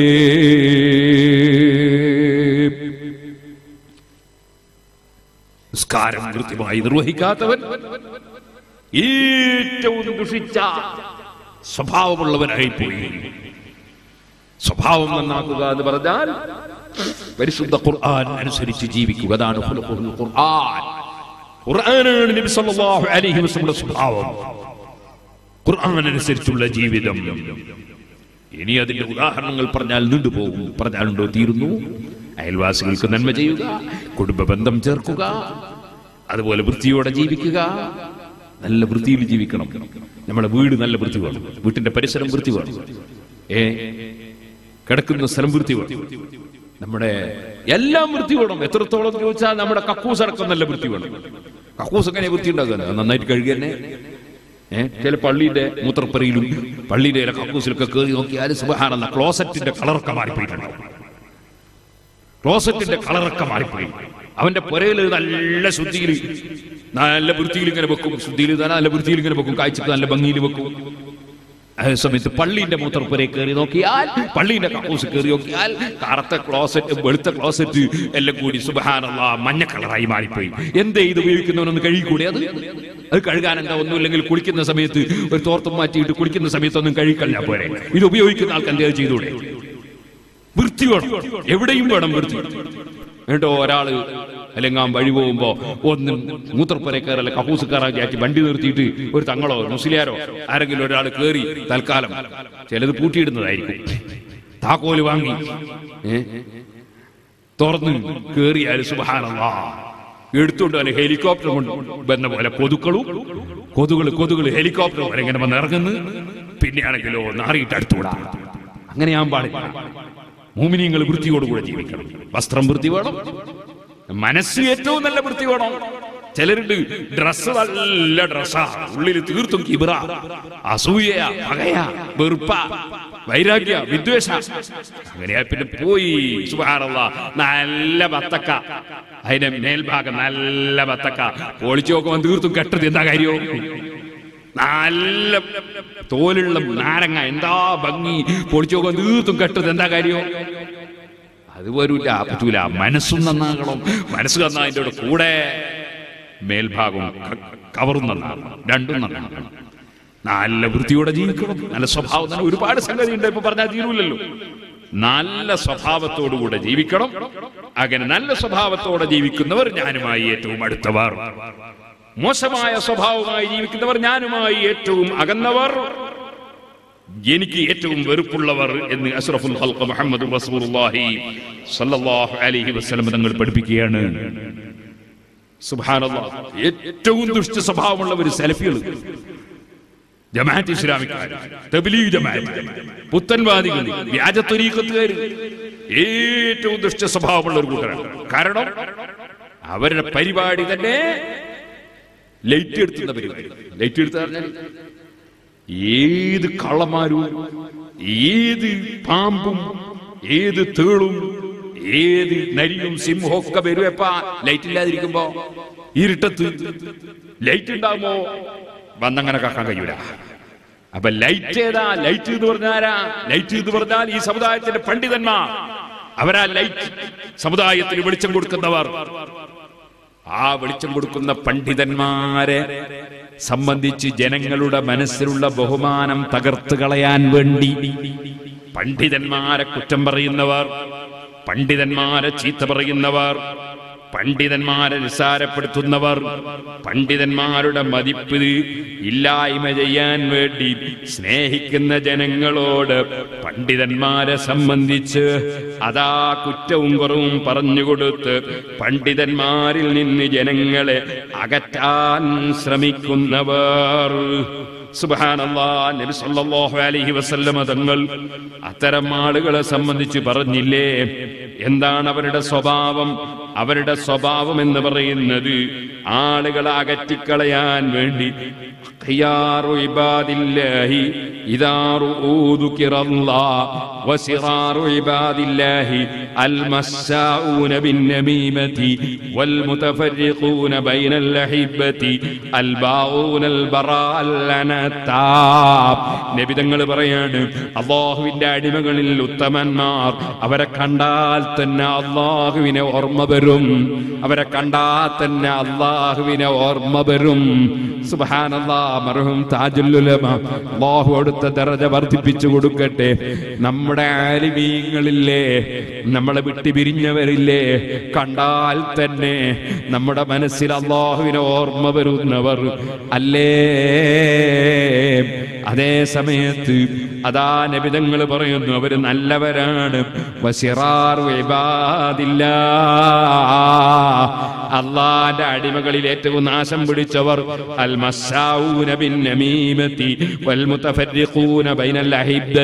സ്നേഹിക്കുന്ന അനുയായികളെ മനസ്സിൽ നിന്ന് സ്നേഹം നഷ്ടപ്പെടുത്തിയിട്ട് സ്നേഹിക്കുന്നവരെ പരസ്പരം അകറ്റിക്കളയാൻ വേണ്ടി ഏഷണി പറഞ്ഞു നടക്കുന്നവർ കുറ്റം പറഞ്ഞു നടക്കുന്നവർ അനത്ത അതേ എവിടെയുണ്ട് ഫസാദ് പറയാൻ? എവിടെയുണ്ട് നാശം വിതക്കാൻ? എവിടെയുണ്ട് കുറ്റം പറയാൻ? എന്ന് ചിന്തിച്ച് നടക്കുന്ന പരസ്പരം തെറ്റിക്കുന്ന അവരേറ്റവും നാശം പിടിച്ചവരാണെന്ന് മുഹമ്മദ് അലൈഹി പറയുകയാണ്. അതല്ലേ മുഴുവൻ പുത്തൻവാദികളുടെയും സ്വഭാവം? കഴിഞ്ഞു പോയ മുഴുവൻ ആലിമീങ്ങളെയും എല്ലാ ഇമാമീങ്ങളെയും അവരൊക്കെ ശിർക്ക് ചെയ്തവരാണ് മുശിരിക്കീങ്ങളാണെന്ന് പ്രചരിപ്പിച്ച് അവർക്ക് ദീൻ അറിഞ്ഞൂടാ ഖുർആൻ അറിഞ്ഞൂടാ. അബൂ ഹനീഫ് റളിയല്ലാഹുവിന് അറിയില്ല മാലിക് ഇമാമിന് അറിയില്ല അഹമ്മദ് റളിയല്ലാഹുവിന് അറിയില്ല. അതറിയുന്ന ഞങ്ങളെ മൗലവിക്കാണെന്ന് പറയുന്നവർ. ആ മഹാന്മാരെ സ്നേഹിക്കുന്ന ജനങ്ങളെ മഹാന്മാരിൽ അകറ്റിക്കളയുന്നവർ ഇമാം ഗസാലിയെ കുറ്റം പറയുന്നവർ ഇമാം റാസിയെ കുറ്റം പറയുന്നവർ ഇമാം ഇബിൻ ഹജർ തങ്ങളെ കുറ്റം പറയുന്നവർ അങ്ങനെ ഇമാമിങ്ങളെ കുറ്റം പറയുന്നവർ. ഇത് തന്നെയല്ലേ സുഹൃത്തുക്കളെ? നിങ്ങൾക്കറിയില്ലേ? ഞാൻ ഓർക്കുകയാണ് ആലുവ തരീഖത്ത് എന്ന് പറഞ്ഞിട്ടൊരു തരീഖത്ത്. അങ്ങനെ ഒരു തരീഖത്ത് ഇസ്ലാമിൽ ഇല്ല കേട്ടോ. ഇസ്ലാമിൽ ധാരാളം തരീഖത്തുകളുണ്ട്. അതൊക്കെ ഔലിയാഹിന്റെ തരീഖത്താണ്. അതിൽ അതാ അബ്ദുൽ ഖാദിർ ജീലാനി റളിയല്ലാഹുവിന്റെ തരീഖത്തുണ്ട്.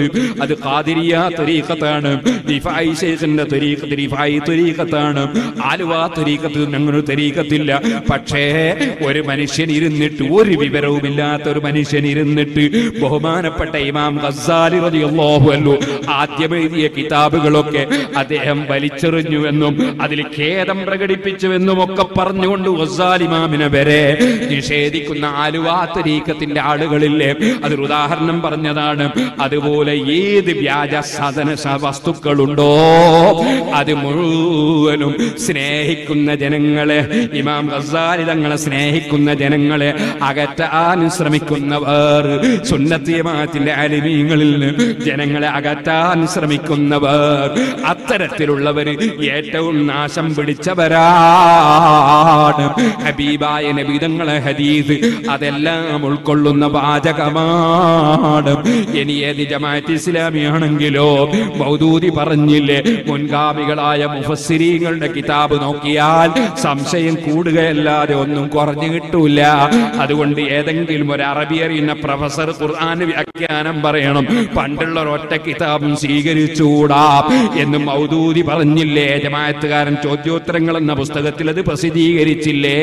അവർ തന്നെ അള്ളാഹുവിന്റെ റസൂലിനെ കുറിച്ച് സാധാരണ മനുഷ്യനായി ജനിച്ചു സാധാരണ മനുഷ്യനായി വളർന്നു എന്നിങ്ങനെ പറഞ്ഞിട്ട് നാൽപ്പതാമത്തെ വയസ്സിൽ നുപൂവത്ത് കിട്ടി. സാധാരണ മരിക്കും പോലെ മരിച്ചു എന്ന് പറഞ്ഞില്ലേ? അതുപോലെ ഹബീബായ നബിതങ്ങളുടെ ശരീരം മണ്ണിൽ നിന്ന് ജീർണിച്ച് നശിച്ചു എന്ന് എഴുതി വെച്ചില്ലേ? ഇത് തന്നെ മുജാഹിദുകളും സെലഫികളും അള്ളാഹുവിന്റെ റസൂൽ സല്ലല്ലാഹു അലൈഹി വസല്ലമ തങ്ങൾക്ക് പിഴവ് പറ്റിയെന്നും പിഴവ് പറ്റിയത് കൊണ്ട് അള്ളാഹു തേല നബി ആക്ഷേപിച്ചു എന്നും അവർ അൽമനാറിൽ സെലഫികൾ എഴുതി വെച്ചില്ലേ? ഇങ്ങനെ നബിതങ്ങളിൽ നിന്ന് ജനങ്ങൾ അകറ്റുന്നവർ സ്വാലിഹീങ്ങളിൽ നിന്ന് അകറ്റുന്നവർ അവരേറ്റവും മോശമായ സ്വഭാവമുള്ളവർ തന്നെ. നേരത്തെ ഞാൻ പറഞ്ഞില്ലേ നല്ല സ്വഭാവമാണ് നിസ്കരിക്കൂലെന്നേ ഉള്ളൂ എന്ന് പറഞ്ഞ പോലെ ചിലർ പറയും നല്ല സ്വഭാവ സെൽഫി ആയി പോയിന്നേ ഉള്ളൂ എന്ന് പറഞ്ഞാൽ ഒന്നും പറ്റിയിട്ടില്ല ഊര മുറിഞ്ഞ് രണ്ട് കഷ്ടായിട്ടേ ഉള്ളൂ എന്നാ പറഞ്ഞ അർത്ഥം. ഏറ്റവും ദുഷിച്ച സ്വഭാവമുള്ളവർ. നല്ല സ്വഭാവമുള്ളവരെയാണ് നബി സല്ലല്ലാഹു അലൈഹി വസല്ലം സ്നേഹിക്കുന്നത്. നബി തങ്ങളിലേക്ക് അടുക്കുന്നത് നല്ല സ്വഭാവം വേണം. എവിടെയും നല്ല സ്വഭാവം വേണം. എല്ലാ വിഷയത്തിലും ഇപ്പൊ പറയാൻ സമയമില്ല. ഞാൻ എന്റെ വാക്കുകൾ നിർത്തട്ടെ. നബി തങ്ങൾ പഠിപ്പിച്ചത് എന്താ?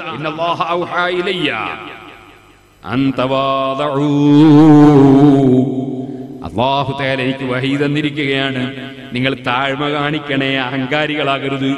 ഞാനൊരു വലിയവരാണെന്ന് തോന്നരുത്. നാലാളെ മുന്നിൽ കിട്ടിയിട്ട് ഒരു സ്റ്റേജും കിട്ടിയിട്ട് ഒരു മൈക്കും കിട്ടുമ്പോഴേക്ക് എന്റെ മനസ്സിൽ ഞാനാണ് വലിയവനെന്ന തോന്നലുണ്ടാകരുത്. സുഭാനത ആളുകൾ വന്ന് എന്റെ കൈ പിടിക്കുമ്പോ കൈ ചുംബിക്കുമ്പോ ഞാൻ ആ ചുംബിക്കുന്നവനേക്കാൾ നല്ലവനാണെന്ന് തോന്നരുത്. ചുംബിക്കുന്നവൻ അള്ളാഹുവിന്റെ അടുക്കൽ എന്നെക്കാൾ എത്രയോ നല്ലവനായിരിക്കാം. അങ്ങനെ ചിന്തിക്കാൻ കഴിയണം. സുഹൃത്തുക്കളെ അപ്പോഴാണ് തവാദ ഉണ്ടാകുന്നത്. നിങ്ങൾ താഴ്മ കാണിക്കണേ. ഒരാളും മറ്റൊരാളെക്കാൾ സ്റ്റാറ്റസ് അടിക്കരുത് ഞാനാണ് വലിയവനെന്ന് തോന്നലുണ്ടാകരുത്. ഒരാളും മറ്റൊരാളെ ആക്രമിക്കരുത്. സ്വഭാവം നന്നാക്കണം ആരെയും അക്രമിക്കരുത് അങ്ങനെ നല്ല സ്വഭാവത്തോടുകൂടെ ജീവിക്കുന്നവരാകണം. സുബഹാനല്ലോ. അതിന്റെ പുറമേ അതാ വിഷമങ്ങൾ അനുഭവിക്കുന്നവരുടെ വിഷമങ്ങൾ കണ്ടറി കണ്ടറിയണം. പാവപ്പെട്ട പെൺകുട്ടികളെ വിവാഹത്തിന് വേണ്ടി സഹായം സംഘടിപ്പിക്കുന്നവരില്ലേ? സഹായം കൊടുക്കുന്നവരില്ലേ? അതുപോലെ തന്നെ പാവപ്പെട്ടവന്റെ വീട് നിർമ്മിച്ചു കൊടുക്കുന്നവരില്ലേ?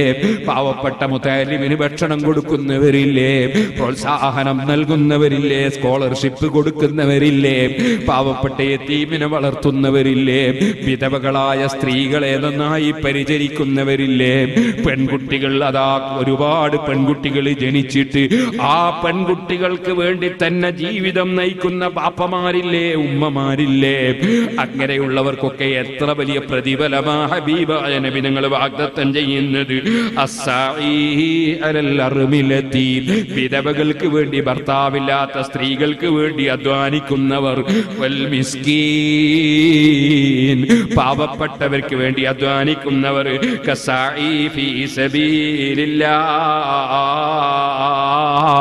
അവർ അള്ളാഹുവിന്റെ മാർഗത്തിൽ അധ്വാനിക്കുന്നവരെ പോലെയാണ്. അഥവാ ബദിരീങ്ങളൊക്കെ ആ വഴിയിലല്ലേ അവരെ പോലെ ഉള്ള പ്രതിഫലം വാങ്ങാൻ പോകുന്നവരാണ്. എന്നിട്ട് പറയുന്നു ഈ ഹരീതിൽ തന്നെ വന്നതായി. അതാ ഓർമ്മ പറയുന്നു സഹാബി. തളരാതെ നിന്ന് നിസ്കരിക്കുന്നവനെ പോലെയാണ്.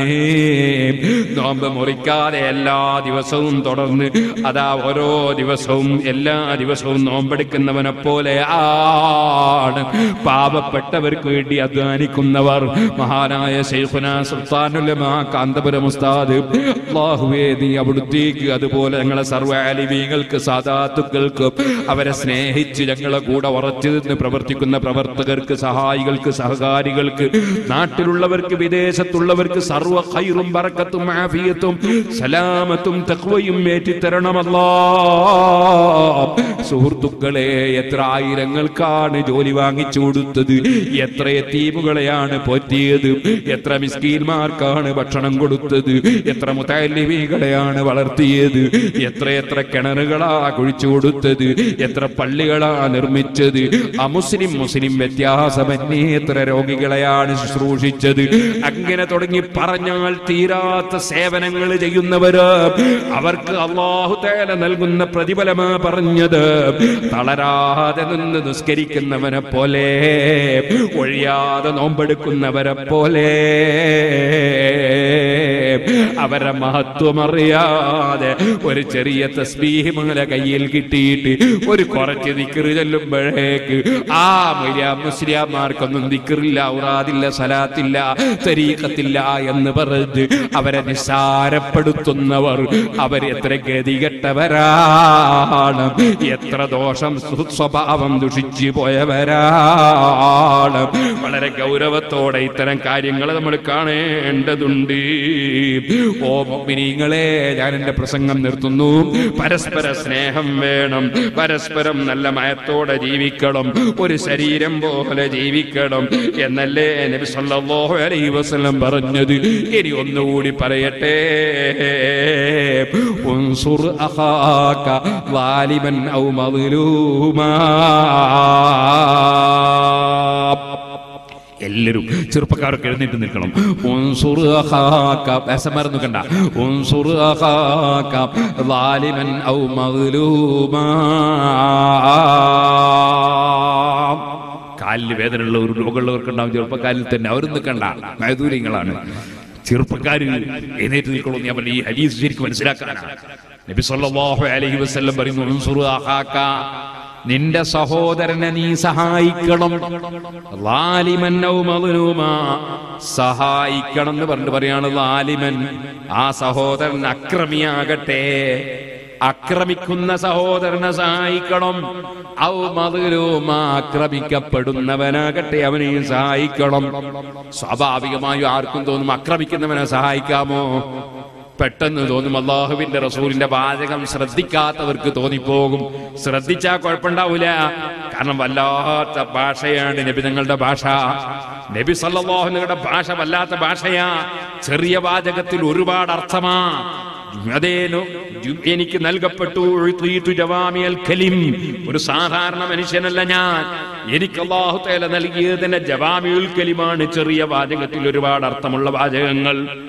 നബി തങ്ങൾ പറഞ്ഞത് എന്താണ് നിന്റെ സഹോദരനെ നീ സഹായിക്കണം. വാലിമൻ അവർ അക്രമിയാകട്ടെ അക്രമിക്കപ്പെടുന്നവനാകട്ടെ. അപ്പൊ ഒരാൾ ചോദിച്ചു നബിയേ അക്രമിക്കപ്പെടുന്നവനെ സഹായിക്കുന്നത് ഞങ്ങൾക്ക് മനസ്സിലായി. ഒരാൾ അക്രമിക്കപ്പെടുമ്പോൾ അയാളെ നീ രക്ഷപ്പെടുത്താം. അതേ സമയത്ത് അക്രമിയെ സഹായിക്കണം എന്ന് പറഞ്ഞാൽ എന്താണ്? അതെങ്ങനെയാണ്? നബി സല്ലല്ലാഹു അലൈഹി വസല്ലമ തങ്ങൾ വിവരിച്ചു കൊടുക്കുകയാണ് തംനഹു മിനൽ അവനെ അക്രമത്തിൽ നിന്ന് തടയലാണ്. അക്രമത്തിൽ നിന്ന് തടയലാണ്. നീ അവനെ സഹായിക്കലാണത്. കാരണം എന്റെ ഒരു ഉദാഹരണം ഞാൻ പറയാം. ഒരു മനുഷ്യൻ വേറൊരു മനുഷ്യനെ കൊല്ലാൻ പോകുന്നു. കൊല്ലുന്നവൻ അക്രമിയാണ്. കൊല്ലപ്പെടുന്നവൻ അക്രമിക്കപ്പെടുന്നവനാണ്. കൊല്ലപ്പെടുന്നവനെ റൂമിലിട്ട് പൂട്ടി താക്കോലെടുത്ത് നമ്മൾ പോയി. അതുകൊണ്ട് ഇവന് അദ്ദേഹത്തെ കൊല്ലാൻ കഴിഞ്ഞില്ല. കൊല്ലപ്പെടുന്നവനെ നമ്മൾ അവൻ നമ്മൾ സംരക്ഷിച്ചു സഹായിച്ചു. എന്നാൽ കൊല്ലാൻ വരുന്ന മനുഷ്യനെ തടഞ്ഞു നിർത്തിയിട്ട് ആ മനുഷ്യനോട് നമ്മൾ ഒരു നല്ല പ്രസംഗം നടത്തുന്നു മോനെ. ഇപ്പോൾ നീ വികാരത്തിന് കത്തിയും ഊരിയിട്ട് കൊല്ലാൻ പോവാണ്. പക്ഷേ നീ അറിയോ അതിന്റെ ദോഷം നിനക്കാണ്? ഒന്ന് പറയട്ടെ ഇപ്പൊ നീ കൊന്നിട്ട് ഇറങ്ങിയാൽ പിന്നെ മരണം വരെ നിന്റെ മനസ്സിൽ നിന്ന് പേടി പോവില്ല പകരം ആര് കൊല്ലുമെന്ന പേടിയോടെ അല്ലാതെ മരിക്കുന്നവരെ നിനക്ക് ജീവിക്കാൻ കഴിയില്ല. കാരണം എപ്പോഴും നിന്റെ മനസ്സിൽ ഇങ്ങനെ തോന്നും ഞാനൊരുത്തനെ കൊന്നതാണ്. അയാൾ ഏത് കുടുംബക്കാരനാ ഏത് നാട്ടുകാരനാ ഏത് പാർട്ടിക്കാരനാ എന്നെ പകരം കൊല്ലാൻ വരിക. ഈ പേടിയോടുകൂടെ അല്ലാതെ നിനക്ക് ജീവിക്കാൻ കഴിയില്ല. രണ്ടാമത് നിന്നെ കോടതിയിൽ ഹാജരാക്കി തെളിഞ്ഞാൽ നീ കൊല്ലങ്ങളോളം ജയിലിൽ കിടക്കണം. നിന്റെ കുടുംബവുമായി അകന്ന് ജയിലിൽ കിടക്കണം. നിനക്കൊന്നിനും പിന്നെ കഴിയൂല. ചിലപ്പോൾ നിന്നെ പകരം കൊല്ലാൻ വിധിച്ചാൽ നിന്നെ കൊല്ലപ്പെടും. ഇങ്ങനെ തുടങ്ങി ദുന്യാവിൽ തന്നെ നിനക്ക് നൂറ് പ്രശ്നങ്ങളാണ്. അതിന്റെ പുറമേ അതാവമം ജഹന്നം. ഇവിടുത്തെ ജയിലറയും ഇവിടുത്തെ കൊലയും മാത്രമല്ല നീ നിരപരാധിയെ കൊന്നാൽ. അതെ നീ നിരപരാധിയെ കൊന്നാൽ. നീ നിയമം കയ്യിലെടുത്താൽ. നിനക്ക് കാലകാലം നരകത്തിൽ കിടക്കേണ്ടി വരും. അത് അനുവദനീയമാണെന്ന നിലയ്ക്ക് അതിന് കുഴപ്പമില്ലെന്ന നിലയ്ക്ക് കൊന്ന കാലകാലം നരകത്തിലാണ്. ഇല്ലെങ്കിലും എത്രയോ കാലം നരകത്തിലാണ്. നീ ഇപ്പൊ അദ്ദേഹത്തെ കൊന്നത് നിനക്ക് എന്ത് കിട്ടും? നിന്റെ നികുതി ഒഴിവായി കിട്ടൂല. നിന്റെ പഞ്ചസാരന്റെ അസുഖത്തിന് കുറവ് കിട്ടൂല. നിന്റെ പ്രഷർ കുറയൂല.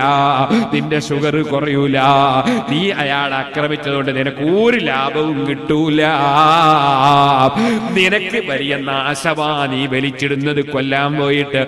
അദ്ദേഹത്തെ ശരിക്ക് ഇരുത്തി ഒന്ന് ഉപദേശിക്കുമ്പോൾ അദ്ദേഹത്തിന്റെ മനസ്സ് മാറിയാൽ അദ്ദേഹത്തെ നമ്മൾ രക്ഷപ്പെടുത്തിയ നൽകിയവനായി അദ്ദേഹത്തെ സഹായിച്ചവനായി.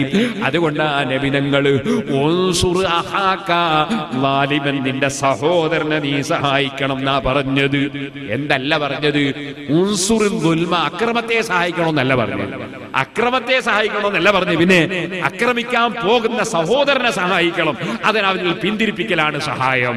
ഇതുപോലെ നമ്മളൊക്കെ ചിലപ്പോ അല്ലെ നമ്മൾ പണ്ഡിതന്മാര് ചിലപ്പോ സെലഫികൾക്കുന്ന ദോഷമുണ്ട് അതുപോലെ ജമാഅത്ത് ഇസ്ലാമിക്കുന്ന ദോഷമുണ്ട് അല്ലെ ആലുവാത്തരീക്കത്തിന് എന്തോ ദോഷമുണ്ട് എന്ന് പറയുമ്പോ ചിലർക്ക് തോന്നി ഇവർ വിമർശി- വിമർശിക്കല്ലേ വിമർശിക്കല്ല അതിൽ പെട്ടുപോയവരെ സഹായിക്കാണ്.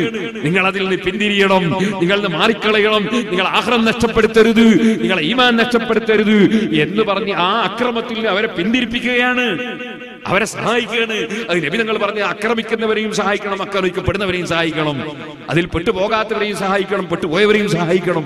ഈ സഹായത്തിന്റെ പ്രവർത്തനമാണ് നമ്മളൊക്കെ ഇത്തരം കാര്യങ്ങൾ പറയുമ്പോൾ ചെയ്യുന്നത്. ചിലര് തെറ്റിദ്ധരിക്കും. എന്ത്? ഇതിങ്ങനെ കുറ്റം പറയാനാണ്. എന്തിന്? നമുക്ക് എന്താണ് അവർ കുറ്റം പറഞ്ഞ കാര്യം? നമ്മളെ നീതി കുറച്ചു കിട്ടും നമ്മളെ ഏൽക്കിന്റെ പൈസ ഇറക്കുന്ന കുറച്ചു കിട്ടും അതിനല്ല രക്ഷപ്പെടുത്താനാണ് ആ ബോധം നമ്മുടെ മനസ്സിലുണ്ടാകണം.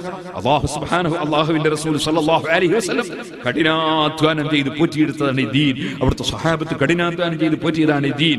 ആ ബോധം നമ്മുടെ മനസ്സിൽ ഉണ്ടാകണം. അള്ളാഹു സുബ്ഹാനഹു വതആല ആ നിലയ്ക്ക് ജീവിച്ച് മരിക്കുന്നവരിൽ നമ്മെ എല്ലാവരെയും ഉൾപ്പെടുത്തി തരട്ടെ. ഞാൻ തുടക്കത്തിൽ ചൊല്ലിയ രണ്ട് മൂന്ന് വരി നിങ്ങൾ കേട്ടിട്ടുണ്ടാകും. നബിയുള്ളവരായതുകൊണ്ട് ഒരു മൂന്ന് വരി. നബി സല്ലല്ലാഹു നിങ്ങൾ തന്നെ ചൊല്ലിയ വരി. നമ്മൾ ഞാൻ ചൊല്ലിയതാണ് ബർക്കത്തിന്.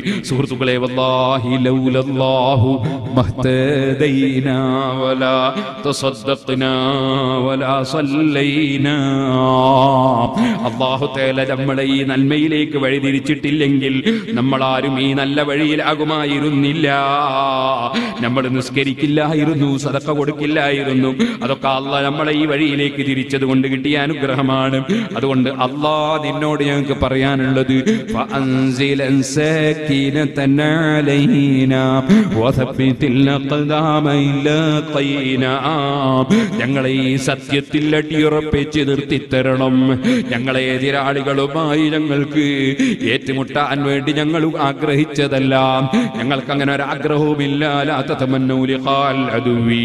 ശത്രുക്കളോട് ഏറ്റുമുട്ടണമെന്ന് ആശിക്കാൻ തന്നെ പാടില്ല നബി ഞങ്ങൾ അത് പഠിപ്പിച്ചിട്ടുണ്ട് അതേ സമയത്ത് ഞങ്ങളെ മദീനയിൽ ഞങ്ങൾ സ്വസ്ഥമായി ജീവിക്കുമ്പോ ഈ മദീനയെ വെട്ടിപ്പിടിച്ച് നശിപ്പിക്കാനും മദീനയിലുള്ള മുസ്ലിമീങ്ങളെയും അമുസ്ലിമീങ്ങളെയും കൊന്നു നശിപ്പിക്കാനും വേണ്ടി ശത്രുക്കൾ അതാ വരുന്നു.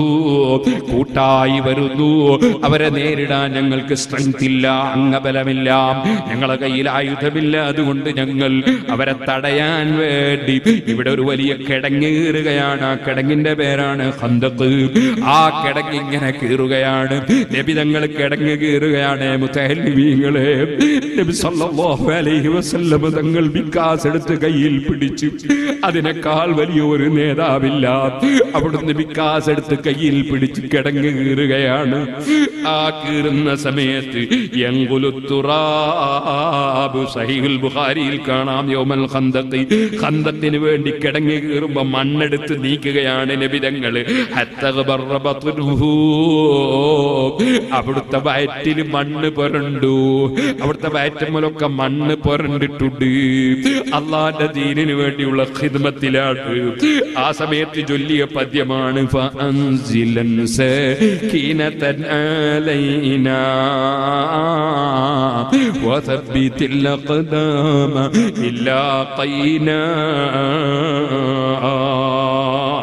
ഞങ്ങൾക്ക് നീ സ്ഥിരത തരണമല്ല ഞങ്ങൾക്ക് മനസ്സിന് സമാധാനം തരണമല്ല ശത്രുക്കൾ ഞങ്ങളുമായി വന്ന് ഏറ്റുമുട്ടുകയാണെങ്കിൽ ഞങ്ങൾ അവരെ ഏറ്റുമുട്ടുന്ന സമയത്ത് നീ സമാധാനം തരണേ അല്ലാ.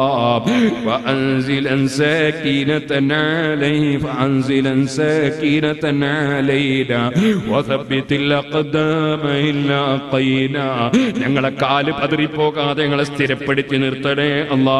ഇന്നല്ല ഇന്നൽ لقد بغوا علينا إذا أرادوا فتنة عبينا അവര് ഞങ്ങളോട് ഇങ്ങോട്ട് അക്രമത്തിന് വന്നതാണ് ഞങ്ങൾ ആരെയും അങ്ങോട്ട് പോയി ആക്രമിച്ചതല്ല ഞങ്ങൾക്ക് അങ്ങനെ ആരെയും ആക്രമിക്കുന്ന നടപടിയുമില്ല സൗഹാർദ്ദത്തിന്റെയും സഹകരണത്തിന്റെയും ആശയമല്ലാതെ സ്നേഹത്തിന്റെയും സഹിഷ്ണുതയും ആശയമല്ലാതെ അക്രമത്തിന്റെ ഭാഷ ഞങ്ങൾക്കില്ല അവര് ഞങ്ങളെ ആക്രമിച്ചതാണ്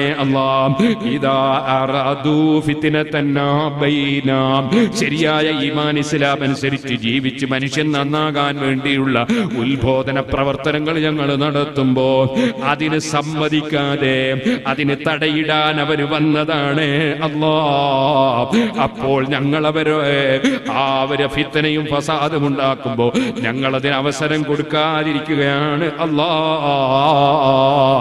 എന്ന് നബിതങ്ങൾ പറയുമ്പോ അവിടുത്തെ സഹാബത്തുണ്ടല്ലോ ഉറച്ചു നിന്ന് പ്രവർത്തിക്കുന്ന സഹാബത്ത്. ആ ഹബീബായ നബിതങ്ങളെ കൂടെ അവരും കിടങ്ങി കുഴിക്കുകയാണ്. അവരും മണ്ണിങ്ങനെ നീക്കുകയാണ്. നേതാവും അനുയായികളും ഒരുപോലെ പ്രവർത്തിക്കുകയാണ്. അവരപ്പ ചൊല്ലിയതാനുല്ലദീന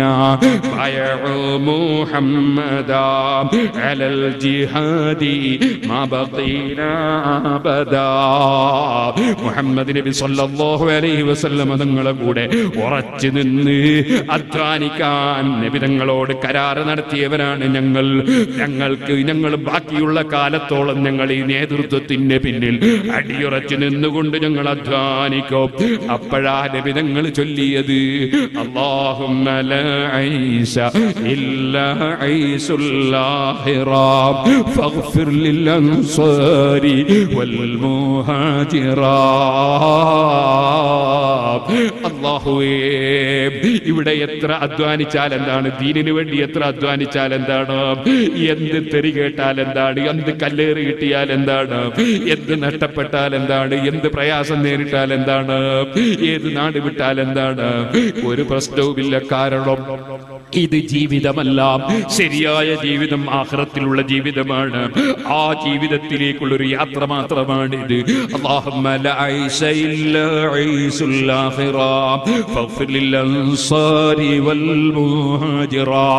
എന്നെ സഹായിക്കാൻ എല്ലാം വിട്ടുകൊണ്ട് എല്ലാം വിട്ടു തന്നുകൊണ്ട് എന്നെ സഹായിക്കാനുള്ള അൻസാരികളുണ്ട്.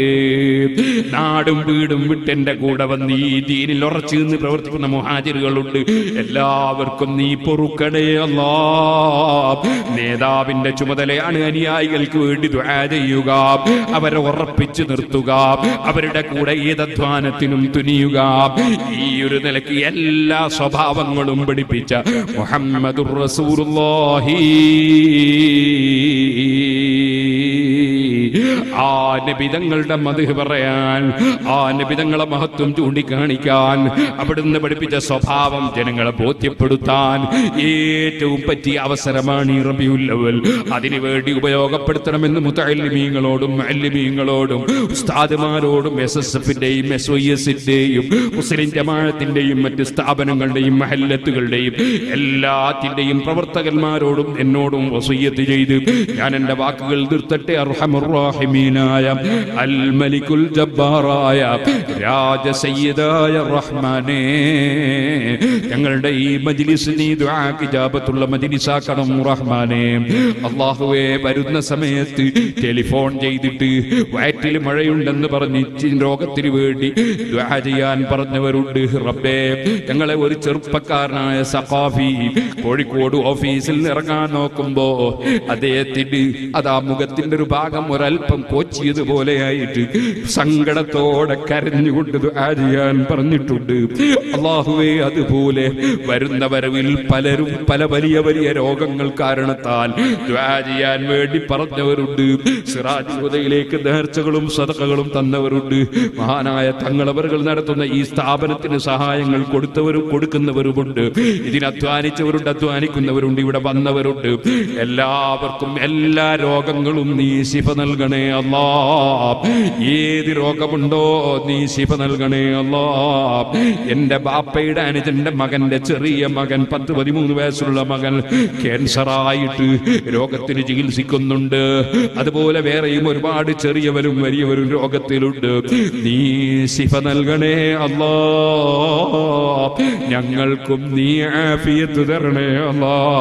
ശിഫ നൽകണേ അല്ലാ. തക്കുവ വർദ്ധിപ്പിക്കണേ അല്ലാ. തക്കുവയുടെ വഴിയിൽ ജീവിക്കാനുള്ള ഭാഗ്യം തരണേ അല്ലാ. ഞങ്ങളിൽ ആർക്കെന്ത് നല്ല ഉദ്ദേശങ്ങളുണ്ടോ?